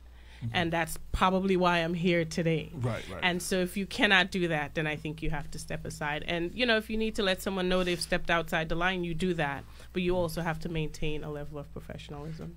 So again, and, and this is questions as African American woman I can ask you that I can ask the other judges. So so I know one of the fear of uh, those who don't look at us, look like us, of having us on the bench, they think we're just going to let all of us go. Um, could you be hard on an African American, uh, uh, but fair, and and, and, and the same, but if one needed to, you need to come down, you can you you can do that. And I mean, I'm not just a per- I'm a person of color, but I'm so much more. Okay, You right, know, right, right. and I've been in the justice system, and I've seen that you know crime is not committed by one particular group of people. Right. It's just that in different communities, it's treated perhaps treated differently. Is how we would say it. And I'm, I'm also invested in my community. I've mm. lived here in Yonkers for the last 16 years. Right, right. I have a four and a six year old. You know, when I had time to go to the gym, you know, I would go to the gym and I would look in my car, you know, at 6 a.m. to make sure no one was waiting for me. Right, so right. safety is important to me too. Right, right. You know, but also ensuring that people who are accused of crimes have a fair shot is equally important. So it's about balancing Mm-hmm. and listening to the evidence that comes before you and trying to make a decision based on the evidence and not rushing to judgment, taking your time, being patient, and giving people an opportunity to be Yeah, heard. I, I used to be a recording artist, a rapper back in the late '80s, early '90s, and um, Strong Island. and, and they and they they um they had started a program um in the Manhattan uh Manhattan Cent- Det- detention center I guess it was um they they were starting to get entertainers to come in and like perform. They, I guess there was a program they were trying to start. So we actually performed in there and then we ate in the mess hall with them. And um I will say uh, while I'm glad to never really have seen the inside of a jail, and I think there's too many of us in there that don't belong in there. Th- There's definitely some people that belong in jail. Like, you say, thank goodness for this. There are some of my brothers and sisters that, that they belong there, um, and I got But to see that. But it's not first. just time. your brothers and right, right, right, right, right, right. I mean, but all all different colors. But there were some people I met that they they they belonged there. I was Mm-hmm. like, and there was some, you know, you know, there's some innocent people, but there were some people that you definitely knew belonged Mm-hmm. there. So um, I'm gonna let Lorraine um kick off some of the questions she had. She pulled up a list. If you can pull up maybe some of the questions you didn't ask yet, because you said it was ten questions. Um, I want to ask this one. What is your general judicial philosophy? Um, you know, after doing it so long, and I've seen judges from Judge Doran Sr. to Gaffney to Yeah, Daly to Doran. Jr. to Scatteratico to um, Graffio. t- I've seen them all, and In-law? that's just Yonkers. In law, and that's just Yonkers. Yonkers City. There's Yonkers Family.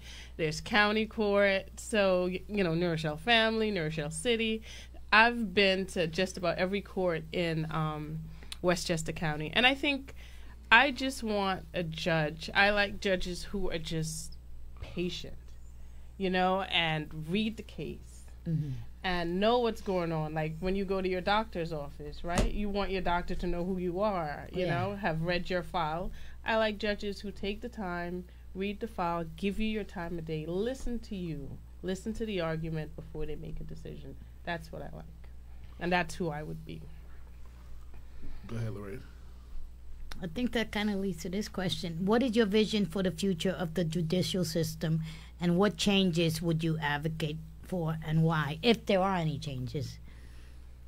Um, I definitely think we need more women on the bench.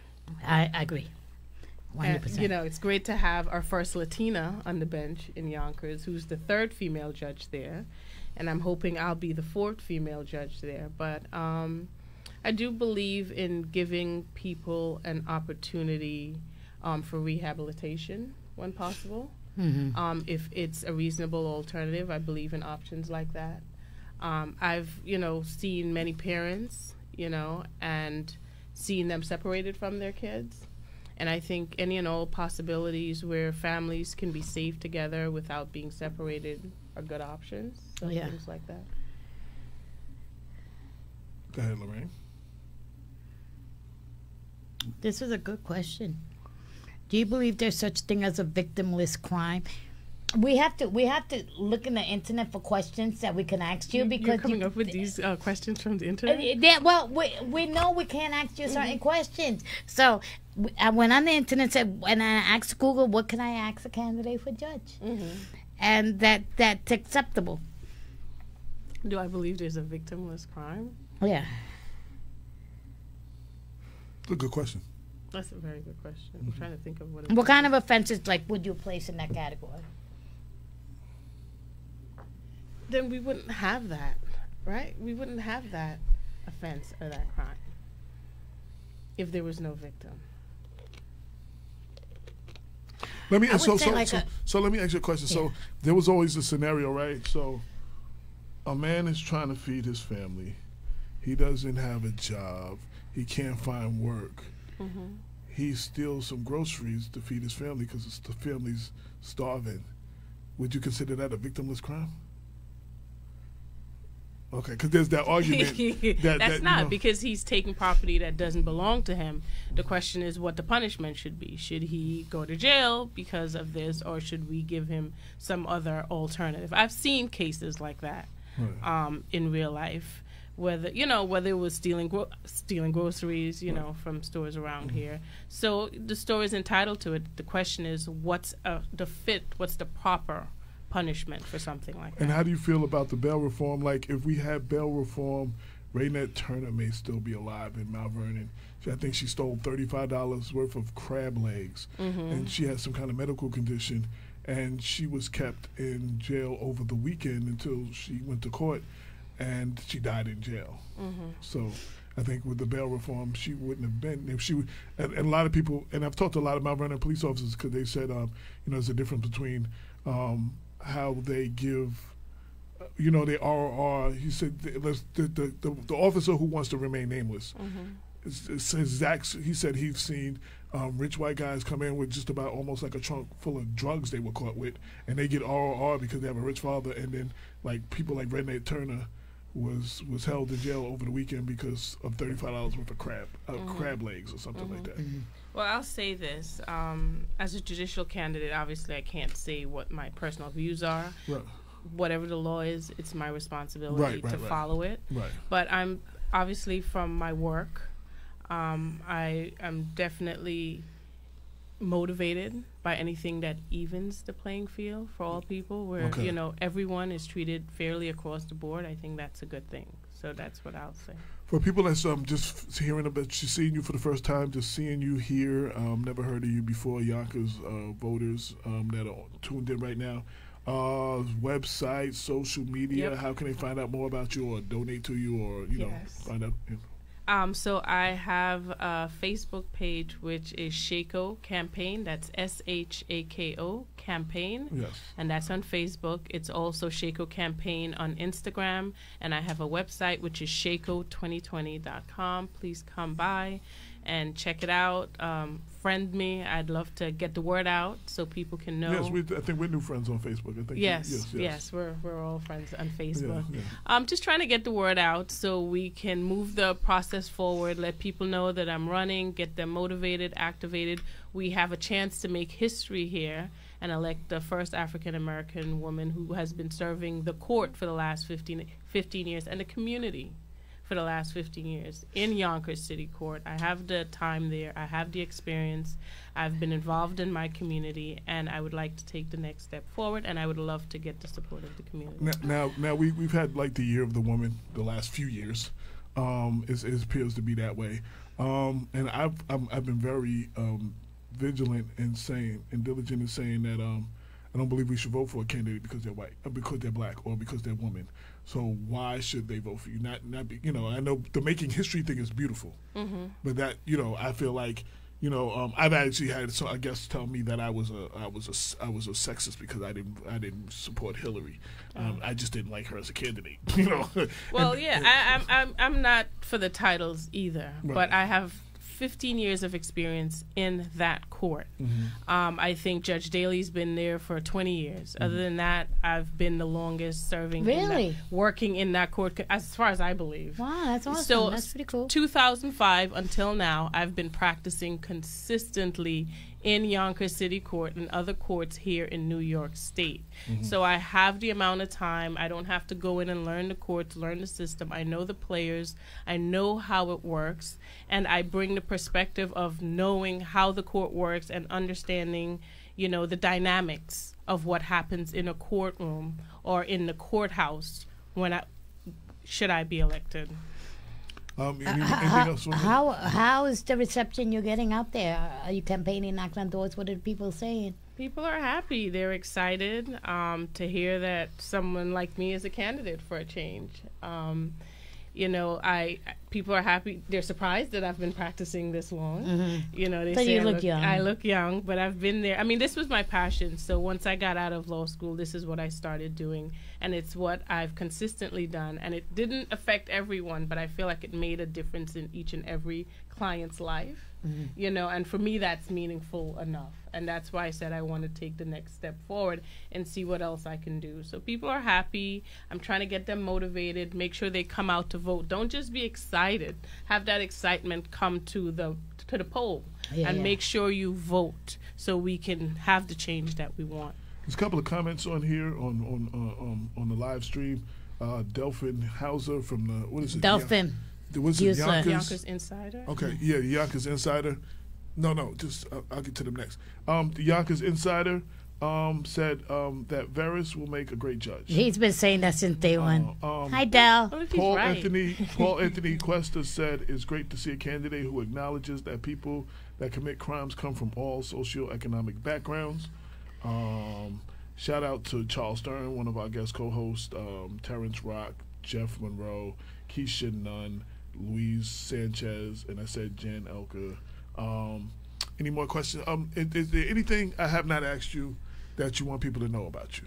Uh, your candidacy, you as the person, why they should vote for you, anything I haven't Uh, wait, asked wait, you yet. wait. I have a question. I have a, qu- qu- a quick question. It's a primary, right? It's a primary. When we is have the thr- primary? so the primary is June 23rd. We have three Okay. seats available, five candidates vying for it. So we're going to have a primary, and it'll be the top three vote getters. So please come out and vote. And why should you be one of those vote getters? Because I have the experience, I have the commitment, I will take my time, I will be fair, there will not be a rush to judgment, and I understand the perspective of the people that come before the court. So I have two questions that I great asked that have nothing to do with, since there was a lack of things you can ask elected officials, and you may have heard me ask the other No uh, the- sports, the per- please. Um, so, so, so, so, so, if your house is on fire, you can only grab three things. What would they be? Easy. My husband and two kids. Aha, there you go. And if you were a superhero, who would you be and why? Wonder Woman. Everybody Okay, says Wonder okay. Woman, yeah. Okay, I might have started out as a feminist before I became at like 11 or 12, annoying my family. So Okay. definitely Wonder Woman. Why Wonder Woman? Um, definitely, I'm for women's rights, um, women being treated equally, and I think that really, like, I was that kid at like 11 or 12 saying a woman should have everything the man has, and then as like maybe two or three years later, that grew into everyone should be treated fairly, and I'm going to law school to make sure that happens. Aha. Um, any last questions, Lorraine? Just one quick question. How, uh, because you know everybody, how are you going to handle a conflict of interest? In terms of, Uh, the- when you're sitting judge, somebody comes before you that you know. Well, but, uh, in, in addition to that, you've been working in the courts for 15 years. Someone That's what I'm comes across She's the gonna judge- know people. Someone comes across your while you're on the bench that you've been involved in their case. I mean, you've been involved in so many cases in Yonkers. And, yeah. And, and, and, and relatives of people, and you know. Well, if I feel that I can't be fair and impartial, or if I'll be biased, then I'll definitely step back and step aside. We've had other lawyers who practiced in the court become judges also. Yeah. You know, and that didn't prevent them. So I'm pretty fair. I'm pretty patient. I know right from wrong, and that's how I've practiced. And so if I feel like I can't do what I'm supposed to do and I'm not giving the person or whoever it is an equal shot, then I, w- I will gladly step aside. One thing I like about Yonkers is we have about five or six judges, so there's always another judge available. So, so uh, I know there's a lot of people that want to hear this fair and partial stuff. And Mm-hmm. they, they, they really feel there's a, a need for a lot of that. But there's some people that just want to know when it comes down to it and there's the need to, can you throw the book? Can you be tough when you need to be tough? Yes. Okay. yes. But that's what a judge does. Yeah, but still, I know. They but listen, to. there's two different things. You you, understand, you Yeah. understand what I'm Yeah. saying? Like, a lot of judges are tough, and, and there's been a said there's not enough people that's fair and partial, and you said a lot of that. But then there's some that other set Mm-hmm. Well, of the population wants to know if you can still be tough. Well, you know fair and impartial doesn't mean soft. Right, but Fair I want you. I want to give you a chance to speak to that. Yeah, fair and impartial doesn't mean soft and you're walking away. Like I said, I'm a member of this community Mm-hmm. and I'm a woman and I have two kids here and we want to be safe also. And I've seen enough in 15 years to know not everyone walks away scot free, Mm-hmm. you know, but it's giving them what is appropriate in each and every case. And that does not mean everyone walks away because if everyone walks away, we're not going to be in a safe community. It's doing what's fair in this each and every situation as you go along. my, my partner um, that I started the show with, and my partner in Black Westchester, Damon Mm-hmm. K. Jones, he's uh, 30 years in Westchester Corrections, and he um, is also the head of Blacks in Law Enforcement of America. And one of the things he says is, you know, um, with the bail reform, a lot of the people were sitting in jail because they couldn't afford bail, but there were a lot of programs brought in, um, especially over the recent years, to help people. Um, now that these people will not be sitting in jail, um, you know, maybe we need to spend some of that money on some of these programs out in the street. You know, maybe even preventative measures measures to stop them from going there in the first place. I agree. Okay. Any agree. thoughts on that? Yeah, I agree. I think the services should be there. Mm-hmm. So, and I think not only will it it'll prevent a rearrest, you know, and hopefully help this person to get on a path, you know, where they won't be coming to court anymore. So, I think any services that you have in place that prevent recidivism, recidivism, I Mm-hmm. think that's great. And what do you, what do you say for the community? Um, And protecting the community. yeah, there's a lot of community that have no trust of law enforcement or, or the courts at this point. They they feel like they, they failed us all along, and for those people, you And want that's them, why- you want them to vote for you. Yeah, and that's why representation matters, making sure that you have people on the bench who understand, you know, everyone's perspective and sees everyone as being human.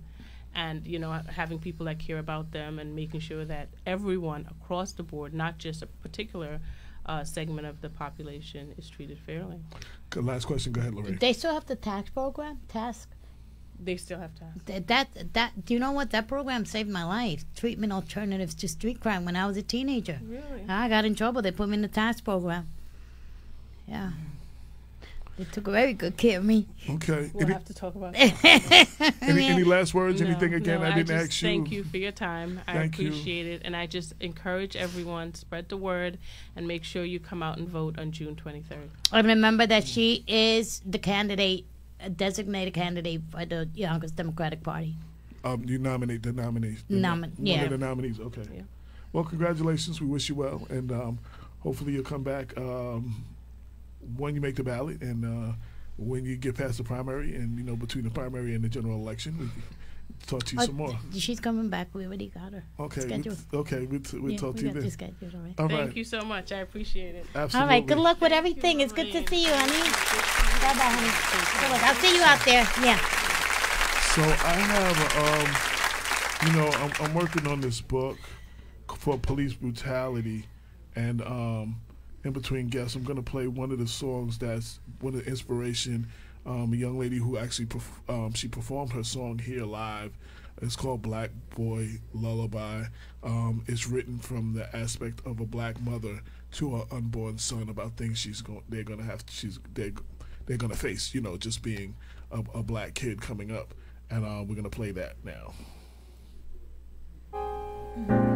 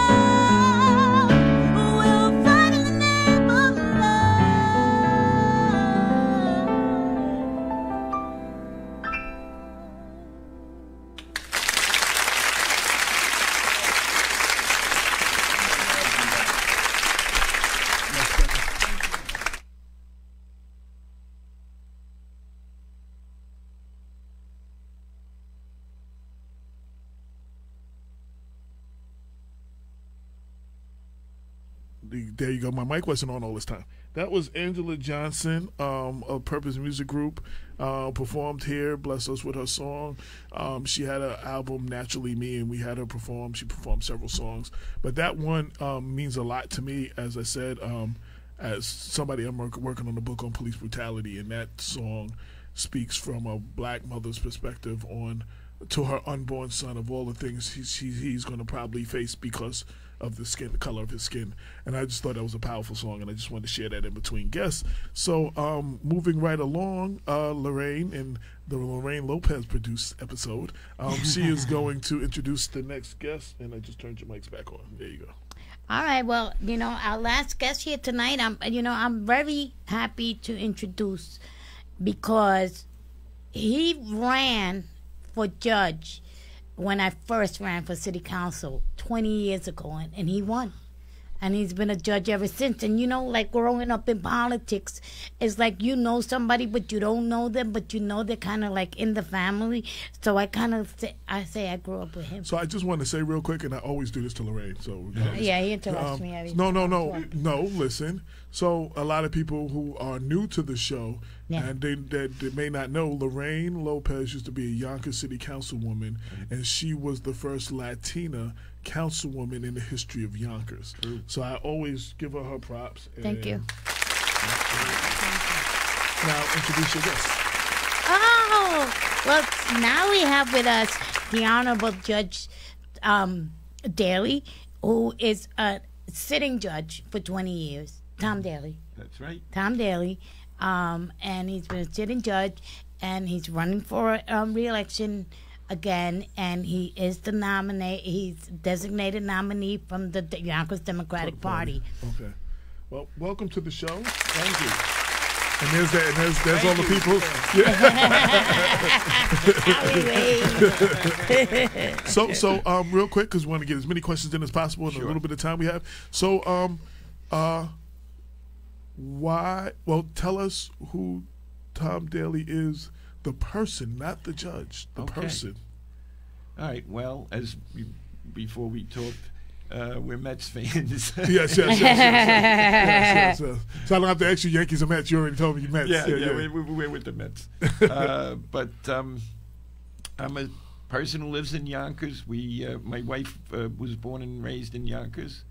We uh, raised our children here. Two, I have two daughters, and one of them is married, and uh, the other is uh, on the way. I hope, because With an ADA, I met, I met, I met her. I, I met them both. MD. Yes. Yeah, the, the younger one is, is at Ridge Hill, Yeah. uh, at uh, WestMed at Ridge Hill. Very proud of the two of them. But um, yeah, so uh, it, I, of course, obviously, I was a lawyer, and uh, my wife and I both, as we got our house. I'm sorry. Do you need some water? I maybe a little bit. Thank you, Maureen. Uh, anyway, uh, when we you know first got our house in Yonkers and then started working on a family, we got involved in various community organizations.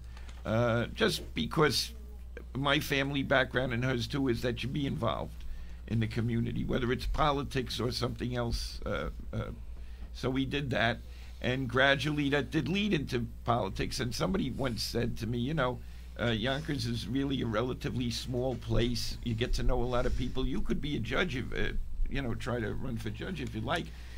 So I said, okay. So I started in 91. I ran for city council at 91, lost that. Ran for judge in 93, lost that. Got appointed uh, by Mayor Terry Zaleski in 95, uh, lost the election uh, to that. But then I got to run again in 2000, and I guess it was the luck of being the same year as because that's when I won. And then I uh, ran for re-election in 2010. So the, so the terms are ten years. They're, they're ten year Terms, terms. 10, 10 years. terms. The reason, one of the reasons we like to have, um, and we just started this last year, as many judicial candidates. Many people in my community never uh, are not familiar with the judges and never get to know, see a judge, unfortunately, until they're standing in front of you. Yeah, Um, so, that's so- the bad Yeah, part. yeah. So you know, we don't know who our judges are, and you know, so hopefully we're we're, we're in this, you know, as in doing these interviews, we're um, you know, getting people to know the judges a little bit better and Yes. and, and um, be put, be more informed on the ballot because I don't believe in that voting row A all the way or just voting for people just because they're on tickets with other people. But you know who's the best candidates the- and yeah. people need to know. So um, why should they vote for you for reelection? All right. Well, I've uh, demonstrated for the past 20 years that uh, I can certainly be fair uh, and impartial to all the litigants that come. We have criminal, we have civil, we have small claims court, we have landlord and tenant court. So we have a lot of hats to wear. And uh, most of the people, of course, the criminal people are entitled to and get representation. But on the civil side, many, many of the people don't have representation. So it's a little bit of a challenge to sort of shepherd them through the system. We can't advocate for one side or the other, uh, but we can provide information and we can certainly keep in mind that these are people that maybe need more uh, of an explanation of what's going on, uh, of their options and so forth. So I, you know, I've been doing that for 20 years. Before that, uh, as I said, I was an appointed judge in '95, and then after I uh, didn't win that election, uh, the court hired me as court attorney, which is like an advisor and assistant to the judges, uh, writing decisions, doing research and stuff. And I did that for five years. So I've really been in the Yonkers City Court for the past 25 years. I can't believe I've done anything for 25 Wow. years, Right, right, right. except be married. We're married 30. I have to make sure I say we're married 38 years because I told somebody 37, and Carol said, no, no. Well, you deserve a, a round of applause for 38 years. A lot of people ain't seen 38 years. A lot of people on their second, third, and fourth marriages at the Nevs. Some of us are not, don't even have our first. so, no, some so of us are lucky, though. We picked right. So, so person. in, in the challenge of asking questions and doing interviews of judicial candidates, there are things you can't speak on. So, Lorraine today, before the show, um, went online and looked up things you can ask a judicial candidate, and she has a list of ten. Um, if you can pick a few um, that you like to ask uh, Judge Jelly. All right, some of these are going to be duplicates because Well, they, yeah, they, no, they need to be saying. asked. Yeah, yeah. Sure. Um, this one is a good one. How do you define injustice, and how would you deal with injustice when you confront it, or have you dealt with it when you confront it in your courtroom? Sure. Well, uh, it, injustice is not being able to uh, uh, tell your whole story, to be listened to, and then the decision has to be made. Now, the decision obviously is not always going to go. For example, in the criminal case, uh, uh, defendant is presumed uh, innocent until proven guilty, and sometimes they'll be acquitted, and sometimes uh, the evidence uh, points to guilt. And we've developed this structure uh, over, you know, many hundreds of years. This this whole common law structure that we have, and uh, I think it works pretty well in determining, uh, uh, in the criminal side, guilt or innocence, and then in the civil side, determining who has proven their case, their claim, like small claims, for example, by what we call a preponderance of the evidence. And that's basically what it is. A judge has to weigh the evidence. Uh, sometimes in criminal, the judge has to guide the jury into how they're supposed to weigh the Yeah, evidence. yeah. And we hope that the result is justice as much as it can be in any human thing, because uh, anything human is, is going to be subject, of course, to mistakes. Uh, but we try to minimize minimize the mistakes. Next question, Lorraine. Can you explain your judicial philosophy in plain English? uh, you know, it, that everyone who comes before me should leave feeling win or lose that they got a fair shake. That's very nice. That's very honorable of you. Thank you. Yeah. Well, I, you know, that's how I felt when I was uh, a practicing lawyer because I practiced for about 10, 15 years before. And, uh, you know, most judges, I have to say, were like that. Occasionally, you know, you get some you didn't feel you were listened to, but uh, by and large, it's it's what we strive for. Let me ask you a question. I'm really curious. Have you ever been scared on the bench? Like scared that, uh, Physically, you mean? That, uh, yeah, like oh, oh my God, there's a criminal that no, No. no. I mean, we have fine court officers uh, with us, protecting the public as well as the judge. Mm. Uh, in fact, if something does get a little crazy, the first thing the court officers They do grab is, judge, you, leave the and bench. they yeah, because go I've seen that happen in Yonkers. I I, Yeah. I want to I, I have to tell you a story. Uh, I and I won't mention who it was Yeah. or where it was or anything like that. But uh, uh, there was a, a in another jurisdiction, uh, somebody got a little out of hand, and the judge. Uh, himself, before the court officers could do anything, jumped off the bench and grabbed the guy. Oh my God! And afterwards, I said, Judge, you should have done that. What are you think? So they tell us that in judge school. We go to school from time to time every year and uh, uh, keep up with the newest developments. And one of the things it says, don't do this. This was done. And don't ever do this. Because if nothing else, you'll get your court officers in trouble for not being fast enough to protect you. Now, now this is interesting. Um, can I interrupt? So, judge school. Tell us about that. That's something the average person never heard of. What What is judge school? Sure. Uh, well, every uh, July, usually July or August, uh, in the summertime, because things have slowed slowed down a little bit, uh, they take in rotation groups of judges uh, in different parts of the state, and we go to like a hotel, uh, something like that, for a couple of days, and uh, we have lectures on various developments. Uh, you know, going over new statutes that were passed in the previous year, uh, important decisions that the appeals courts uh, have decided that should guide us, uh, maybe new procedures and policies that the court uh, system itself has issued on how to deal with various issues. And so we keep up, you know, and then you see.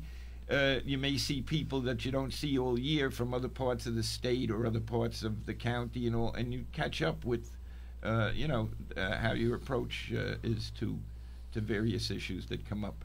So, and then of course, when a judge is newly elected, uh, for example, uh, if uh, I know Vereshako was here before, Yeah. and uh, in the course of time, uh, if she gets elected, she'll be going to uh, judge school next January, and uh, she'll be given, uh, you know, uh, updates, pointers, and so forth uh, because it is a different thing. You're an advocate for so many years. I was, uh, Veris uh, has been an advocate.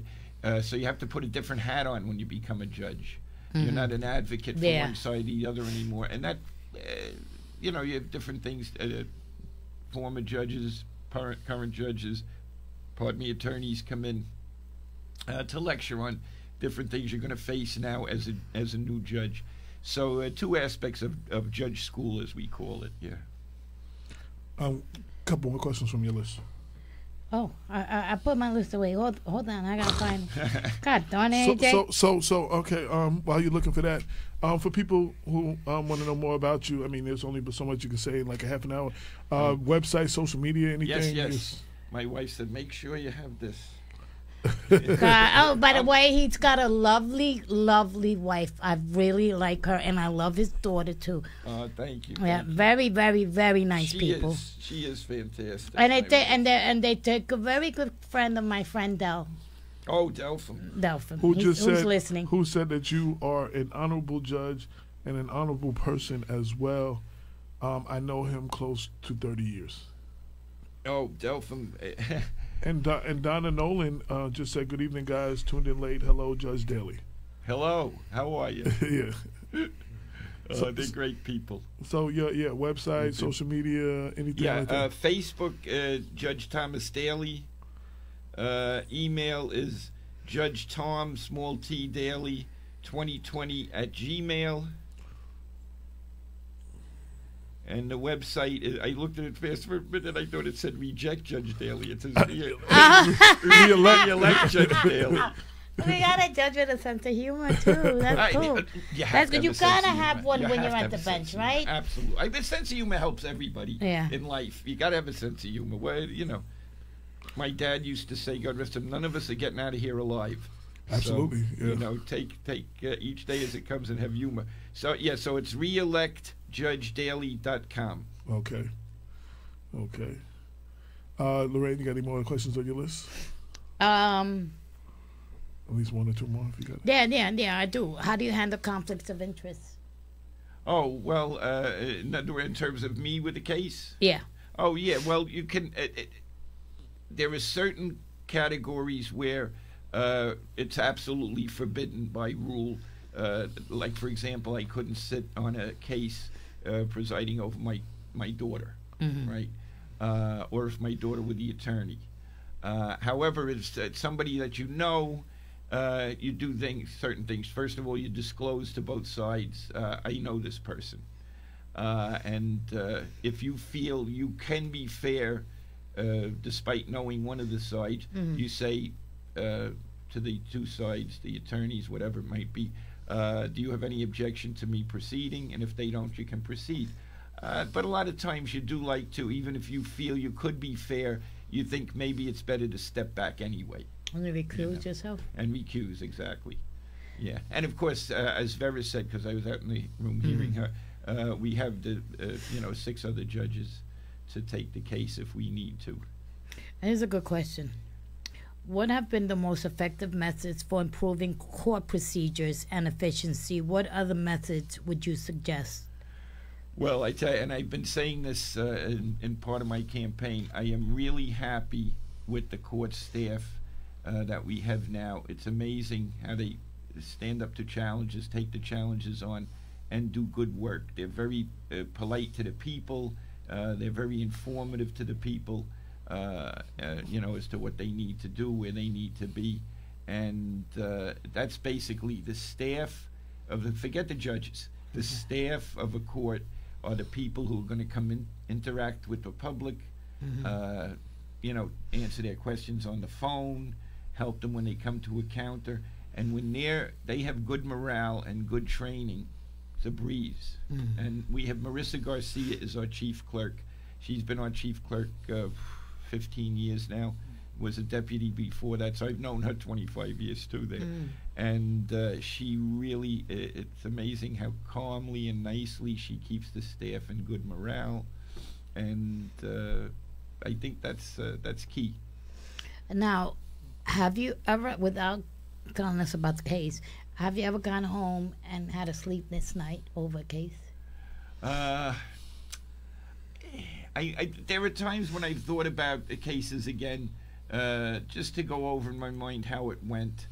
But uh, in terms of agonizing over it, now I think I, I think that's a quality that is good in a judge to make a decision and feel comfortable with the decision. Now, I've I've been reversed on appeal in some cases, and you know that's that comes with the territory. You do the best you can, make your decision. Uh, no, unfortunately, I stay up a lot at night, but it's not from that. it's from, you know, uh, whatever keeps us o- older people. Awake at night. So you've been out campaigning, knocking on doors? Oh or- yeah, yeah, and going to events. That's that's one. I know about you're Yonkers. everywhere. I see you on Facebook. There's plenty of events in Yonkers. There's always events in Yonkers. That that was the other thing that my wife and I uh, got a kick out of when we first started into this. That there's all kinds of organizations, clubs, events going on, flag raisings at City Hall. You know? Yeah, yeah. yeah, yeah, yeah. So you know, with the lack of things you could ask judges, um, we did some judges last year, and I, I asked two questions that have nothing to do with the election, have nothing to do with politics, Okay. just just regular. If your house is on fire, and you can only grab three things. What would they be? Well, assuming that uh, my daughter won't be living there uh, much longer, it would be my wife. it would be, no, no, no, in a good way, in a good no, way, I, you know. I know, but see how easy It's the it he eliminated that option. It makes it easier for him to answer. Because, no, because my wife would give it if they didn't say my wife and the two cats. Oh, yeah. That's what's live. in I tell you, that's, it's, geez, to this day I can remember it. Uh, I was in college, I guess, right? So I was coming home, and I got off the bus because uh, I went to St. John's, and occasionally I have to take the bus all the way from Queens to, to the Bronx. Uh huh. And I see all these two blocks up. I'm walking up towards my house. There's these fire trucks and everything. And I said, "Gee, what happened? What happened?" I get it. It's my house. Oh. And we had a cat, of course, and everybody had gotten out. And my sister, she was must have been ten at the time, eleven. She reached much back in to pull the cat from under the bed. Oh my God, I did that when I was 11 when our house burnt down too. I ran inside Wow, and got the that's, cat. That's isn't that something? Yeah. And, and, you know, it was it was upsetting, but I said that's, I got to go get the cat. yeah. So I'm gonna ask you a variation of a question, a different question than Sure. what I've asked everybody else because you and you we already talked about you're a Met fan. If you was a professional baseball player, what position would you play? Ooh. Ooh, ooh, that's good. I think left field. And why? Uh, because you get a little time to rest.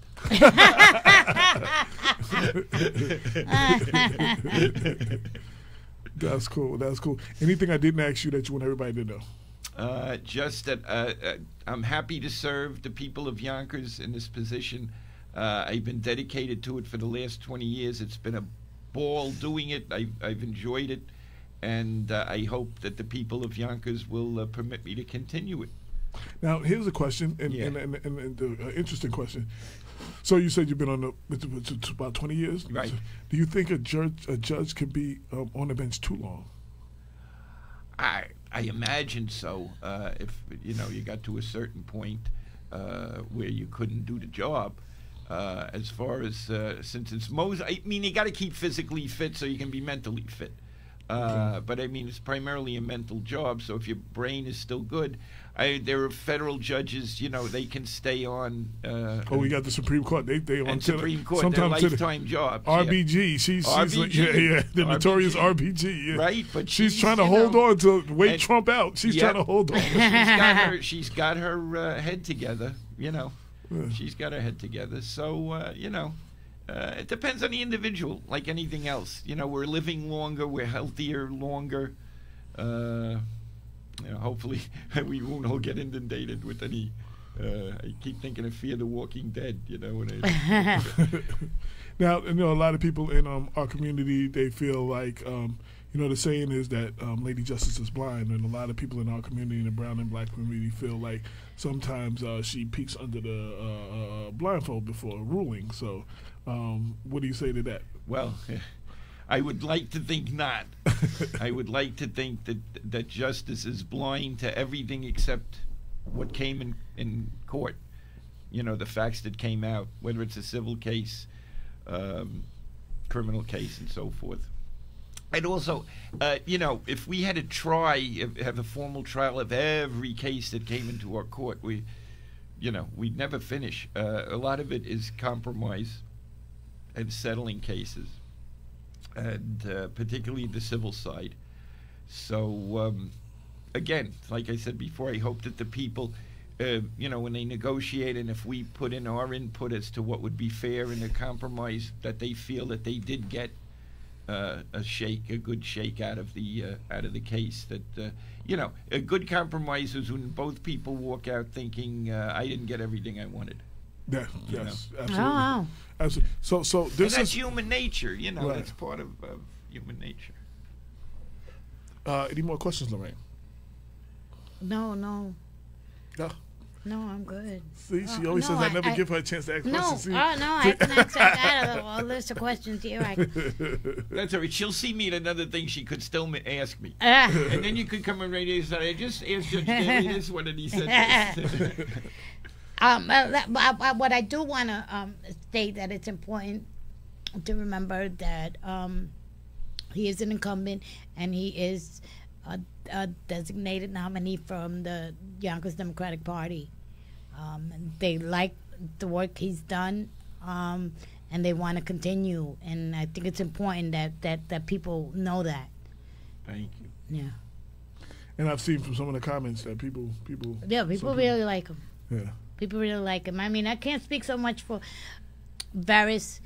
She's she's now running. Uh, um, uh, McGrath has, has only been there for, for two months, but Judge Daly's been there for a good twenty years, and he's got a wonderful reputation. I've never heard anybody call him the A word or anything like that. Thank you. you know, never never had I heard never have I heard a complaint about you. Thank you. Except Wow. maybe from my wife. That's not, not about being a judge. Not taking out the garbage the right time. Yeah, we all hear about that. Yeah, Yeah, yeah, right. Right. yeah. yeah. Um, and, and again, anything I didn't ask you that you want, uh, um, you know, to address or to say or, um, um, you know, get out there. Uh, again, I talked about the staff, how, how great they are. Uh, and uh, Uh, let people know if Yes. anybody knocks on their door yes, with a petition that has your name on Yeah, it. yeah. Please sign it, folks. We need you all to sign this before the end of March. that's right, because that's when we got to file them. Yeah. And then June 23rd is the primary. And uh, as uh, Vera said, I saw she says there's five names so far.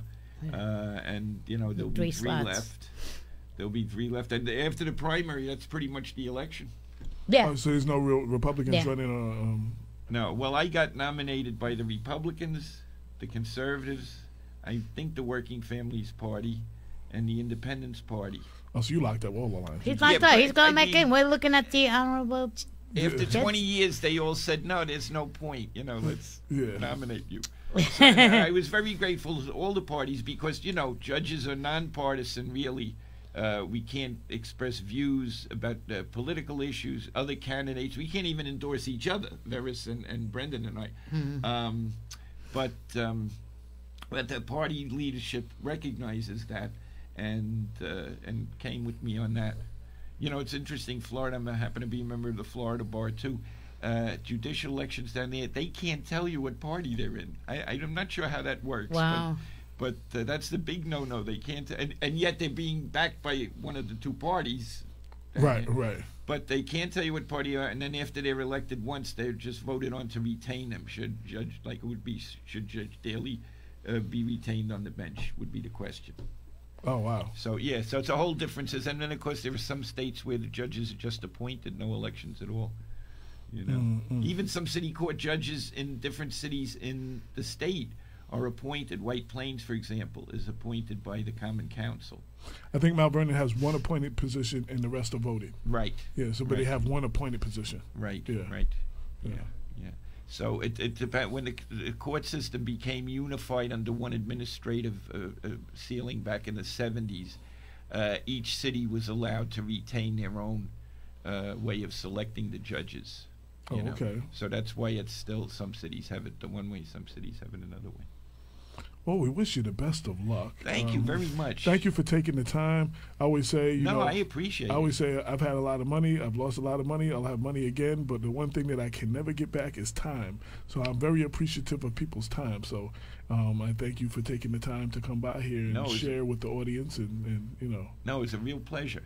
yes. And, and, and let me just say, please, for uh, my my people listening, um, uh, when is it again? June, June twenty third, I think, right? June twenty third. Uh, the primary. Uh, do me a favor. Is there early voting for the primary? Is there early voting? Uh, there must be, yeah. They, they they've gotten that pretty well in, in shape. The early voting. I think so it- I'm they- sure there must be, yeah. I know the general election there was early voting. I think Yeah. ten Well, I days or something. Yeah, Yeah. yeah. Well, everything sort of got in flux because for the first time uh, last year uh, they had moved the uh, uh, petition period up and the primary Right. period up. It used to be in September. Right, right, right. Uh, and so, but it wasn't always like that because I can remember growing up uh, in the Bronx having primaries in June. So I don't know if that was something special or if they had changed it. I, I've really You forgotten. know, when George Latimer, when he was running um, against Astorino, and Yeah. um, he was here, Yeah. he and he said he wished that they would move it up because the Democrats are fighting it out till September, Right. and Astorino was beating them up from from from all along, you know, and they couldn't fight. You know, be the one who's going to Yeah, do the fight against yeah. Astorino. Then you got like five, six weeks or whatever Yeah, to fight the, the Uh, Republican. uh, For whatever party or whatever office, a long primary period doesn't really make that much sense. Right. Because, as you say, candidates are beating each other up, and, Right. and, and the public loses interest too. Right, You know, you right. can only keep the public's interest in this stuff. I, I, I look at the the, the presidential. The, the, the interest goes up and down. It's amazing. Yeah, yeah. Well, we thank you for coming. Um, Thank wish you so well. much. Thank you for and- the water. Oh, no problem. And um, we uh, have a blessed day. And uh, You too. Hopefully, I've never never see you in your courtroom. Not not I'm not in sure front of you. I'm sure not. I'm sure not. Unless it's to get married. Uh, that's, we do that too. We do weddings in the courthouse. okay, okay. Yeah, Yeah. people get the license from uh, Vinny Spano's city clerk office, and then they could come over to us. And we can do the blessed knot, tie the blessed knot. Okay. When you're ready, AJ, I know oh, other oh, people. Oh, oh okay. wow. Okay. well, we thank you for coming. Oh, that's And, and guys, you know what? I'm just gonna ask you. I'm just gonna ask my people. When you go in, when you go vote, please vote on the primary.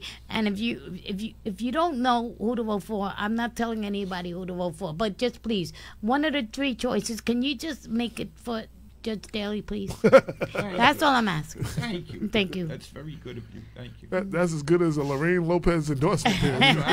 I could say that my lips endorsed oh, we thank you for coming Thank through. Definitely. Uh, I don't know if I'm supposed to get up and walk Uh, out. Or, d- Oh, yeah. yeah, yeah. Does it the illusion? No, but um, I'll see you around. I'll see Oh, you around here. this What, you- week, I'm sure. Yeah, yeah. things. Well, you out there stopping. You're out there. You're out there. Oh, there, there's it. So that's I our love it. that's our three candidates Thank running you. for. That's three of the candidates of the five candidates that are running for Yonkers City Court Judge. He's been again, he's again, been here 20 years and he's a fresh of breath of air still. ag- again, I want to thank Lorraine Lopez for helping to put together this show. Uh, she booked all the guests herself. She put this guest this show together. Jen, so- Jen Oakers, so- thank you, Jen. Love you, girl. Shout out to Jen. Shout out to Lorraine. Thank you, AJ. Yes, yes, yes. Um, and for everybody tuning in, um, I'm not sure this person's uh, Facebook name is V E Your Honor. V E B S C. Well, hello, and they said hi. I'm not sure how you. Hi, um, Judge Karen Best campaign is tuned in. Hey, Um, hey, Karen. I think she is one of the candidates running for city court. Yeah, judge. yeah, she's still running. she's Um, out there. Uh, Sarah Briggs um, is tuned in. Um, we mentioned Donna Nolan. She said, Hi, guys. Oh, we, I read that already. Um, Delphin said, Well done show, AJ and Lorraine. Thank you, Del. Charles Stern said, This is great. I think he was talking about the, the song right after the song we played. Yeah, He yeah, "This he, great." yeah, he said after the song. Um, Guy Harris was tuned in. Diane Atkins, who I believe is the assistant to, To- the to the county executive, executive. Um, uh, she's tuned in. Carol oh, Washington. hi, Mrs. Daly. Ca- Ca- um, Carol Washington is tuned in from Long Island, um, Central Islip, Long Island. One of my Central Islip people was good. Was good. Um, um, she heard about the show from my homeboy Monty, who's who's in uh, Prince George County in, in Maryland these days. Used to be a sheriff. He he um, he was telling everybody check out the show, and she's one of the people. So shout out to her. Um, uh, Terrence Rock, uh, I said Charles Stern, Jeff Monroe, Keisha Nunn, Louis Santos, Jen Elker, Wayne Robinson Sr., White Plains Councilwoman Nadine Hunt Robinson, Steven Simpson, Hector Santiago, Mr. Stop and Shake, um, Yonkers, Aleda Johnson, um, another cousin, uh, what's going on, cousin? Johnny Limo, um, Dr. Bob is tuned in, of course, uh, Ken Bright, Uncle Frank, Frank Chulio Jr., uh, Marvin Church, Chris Breezy, New Rochelle Councilwoman Yadira Ramos uh, Herbert, uh, Yonkers Councilwoman Tasha Diaz. Tosh. Um, she just had a, a, a- a very festive um, uh, birthday slash birthday party, I guess slash fundraiser. Um, we both were in attendance, uh, and Damon as well. Um, definitely a great turnout. She brought together everybody from all sides of Yonkers, a very eclectic crowd, which is definitely a testimony to her um, being uh, her her her uh, since she's been on the council, I guess, to be able to pull all those different people. Um, council President Mike Khader was talking about you don't see all these different people. Everybody doesn't pull this kind of crowd, and and definitely was complimenting her. So shout out to her. We went to her event. Um, I was at the Rail House in In Pelham. in Pelham. Shout out to the Rail House in Pelham. Um, and everybody else who was tuned in. This is your last week to advertise. Um, Carol Mc. Oh, Carol McGowan. That's Daly. just Okay. Daly's wife. She said, "Great show. Thank you, uh, Yeah. Miss Daly, Mrs. Daly." We're glad you tuned in. Um, yeah, this is your last week to advertise in the March 15th issue of Black Westchester. For all those who don't know, we switched from the first to the fifteenth to release our monthly paper on the fifteenth. Um, just wanted to be a little different and try something a little different. It seems to be working working out. So um, this is your last week to advertise. Again, as you've seen, we have commercials on the radio show. We have thirty second spots. Um, tune uh, if you want to get a 30 second spot or you want to advertise in the paper or on the website um, hit us at blackwestchester.com it is your donations and advertisements that help us keep the paper free for the people so we can continue bringing you that news with the black point of view and giving you that real talk uh, for the community since 2014 we want to thank everybody who supports us um, everybody who holds us down everybody who tuned in um, I think that's pretty much any last words, Lorraine. Uh, no, uh, no. Have a good night, everybody. Great show, great show, great show. Uh, you Oh, oh, wait! Shout out, shout out to Mayor Spano. He kept his word. He called me up. I have my first census meeting tomorrow. Okay, that's what's up. That's what's up. And let me just say, um, I always say the lovely Lorraine Lopez, you look lovely tonight. Not that you Thank don't you. always look lovely, but I love your outfit. Thank you. Um, so I just wanted to give you a compliment. Ah, holla. Um, that's it. With all of that, um, definitely I will keep you updated on the status of the killing of Kenneth Chamberlain film. Yeah, I um, as we as we get to get closer to it being in the theaters, I will let you know if there's any more screenings in Westchester. I will let you know. Um, I will let you know the, the status of the book as I get closer to it. and again, um, Damon's working on his book, and as he gets closer to that, we'll we'll ha- we'll be talking more about that. And Dr. Bob is doing a lot of research and working on his book. Holy so, uh, we'll we'll have more on that later. Um, this is one of three books I'm working on, but this one I put I put all the other books to the side. This one's dealing with police brutality and the frustration of the community uh, feels from from from a repeated abuse and nobody ever going to jail. And um, you know, a lot of white people have asked me, why are they so angry? Why are they frustrated? Why do they riot? Oh my God! And why? this is why. Why does it always have to be about race with Well, you got to break it Th- down to them. So this book answers a lot of those questions, and it is not um, a feel-good book. It is meant to disturb your consciousness. It is meant to to, to, to upset you a little bit and frustrate you, and, and and bring out a lot of emotions in you. Um, as is that film, The Killing of Kenneth Chamberlain. I believe they're both necessary. So with that said, um, um, we are off next week. Uh, we are taking a much needed week off. Um, we are on every day. This is show number 252, 53. And we've only, in five years, I think we've only taken two or three weeks off. Usually it's like Super Bowl or Christmas or something like that. Um, but we're taking this week off. Um, um, we're gonna all, you know, we could all use the rest. Um, Dr. Bob always said we need a week off, so we're we're taking a week off. So we will not be on next week, but we will be on um, back on the the following week. Um, next week is the what the eighth, so we'll be back on seven one days the fifteenth. We'll be back on the fifteenth. So um, definitely check us out. Um, uh, wait, so this is first. This is the first Sunday.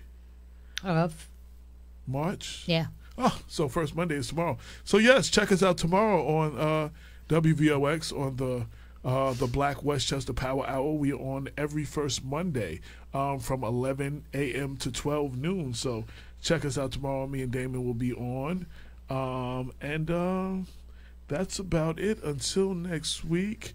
Make sure you check out all the candidates. Very important elections: the judge election, the district attorney. That's. 10 years. People really Right, have to think about that. And the district attorney in Westchester is one of the most important elections you can vote in. In the black and brown community, uh, election we don't normally pay for, pay attention to, or we just throw our vote at, out there any kind of way. But you need to hold these. Uh, uh, we we had Mimi Rocah on, and um, we will have um, um, the current incumbent um, Anthony Scarpino. He will be on March 29th. He is definitely will be in the building. We'll talk about the bad cop list and everything else. We've been critical, but we're gonna give him we're gonna give him the um, you know the fair and partial interview. Give him equal time. And let him let him tell you why you should vote for him. Why why you should why you should reelect him. Um, and that's what that's what we can do. And then it's up to you as the up the vote. people, yeah. It's up, it's up for you as the voters to make an informed decision on who you think the better candidate is, and and and cast your ballot. But the most important thing is that you vote. So vote, vote, vote. Um, that's all I have to say until the 15th.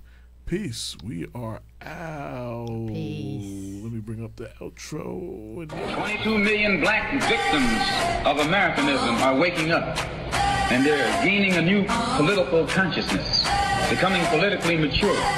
And as they become, uh, develop this political maturity, they're able to see the recent trends in these uh, political elections. That any minority that has a block of votes that stick together is in a strategic position. Either way you go, that's who gets it. You're, you're in a position to determine who go to the White House and who stay in the doghouse.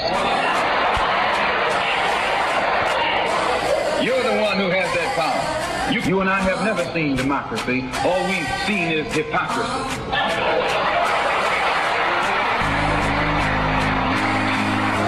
When we open our eyes today and look around America, we see America not through the eyes of someone who has who has enjoyed the fruits of Americanism. We see America through the eyes of someone who has been the victim of Americanism. We don't see any American dream. We've experienced only the American nightmare. We haven't benefited from America's democracy. We've only suffered from America's hypocrisy. And the generation that's coming up now can see it and are not afraid to say it. And are not afraid to say it. And are not afraid to say it. And are not afraid to say it. And are not afraid to say it. And are not afraid to say it. And are not afraid to say it. And are not afraid to say it. And are not afraid to say it.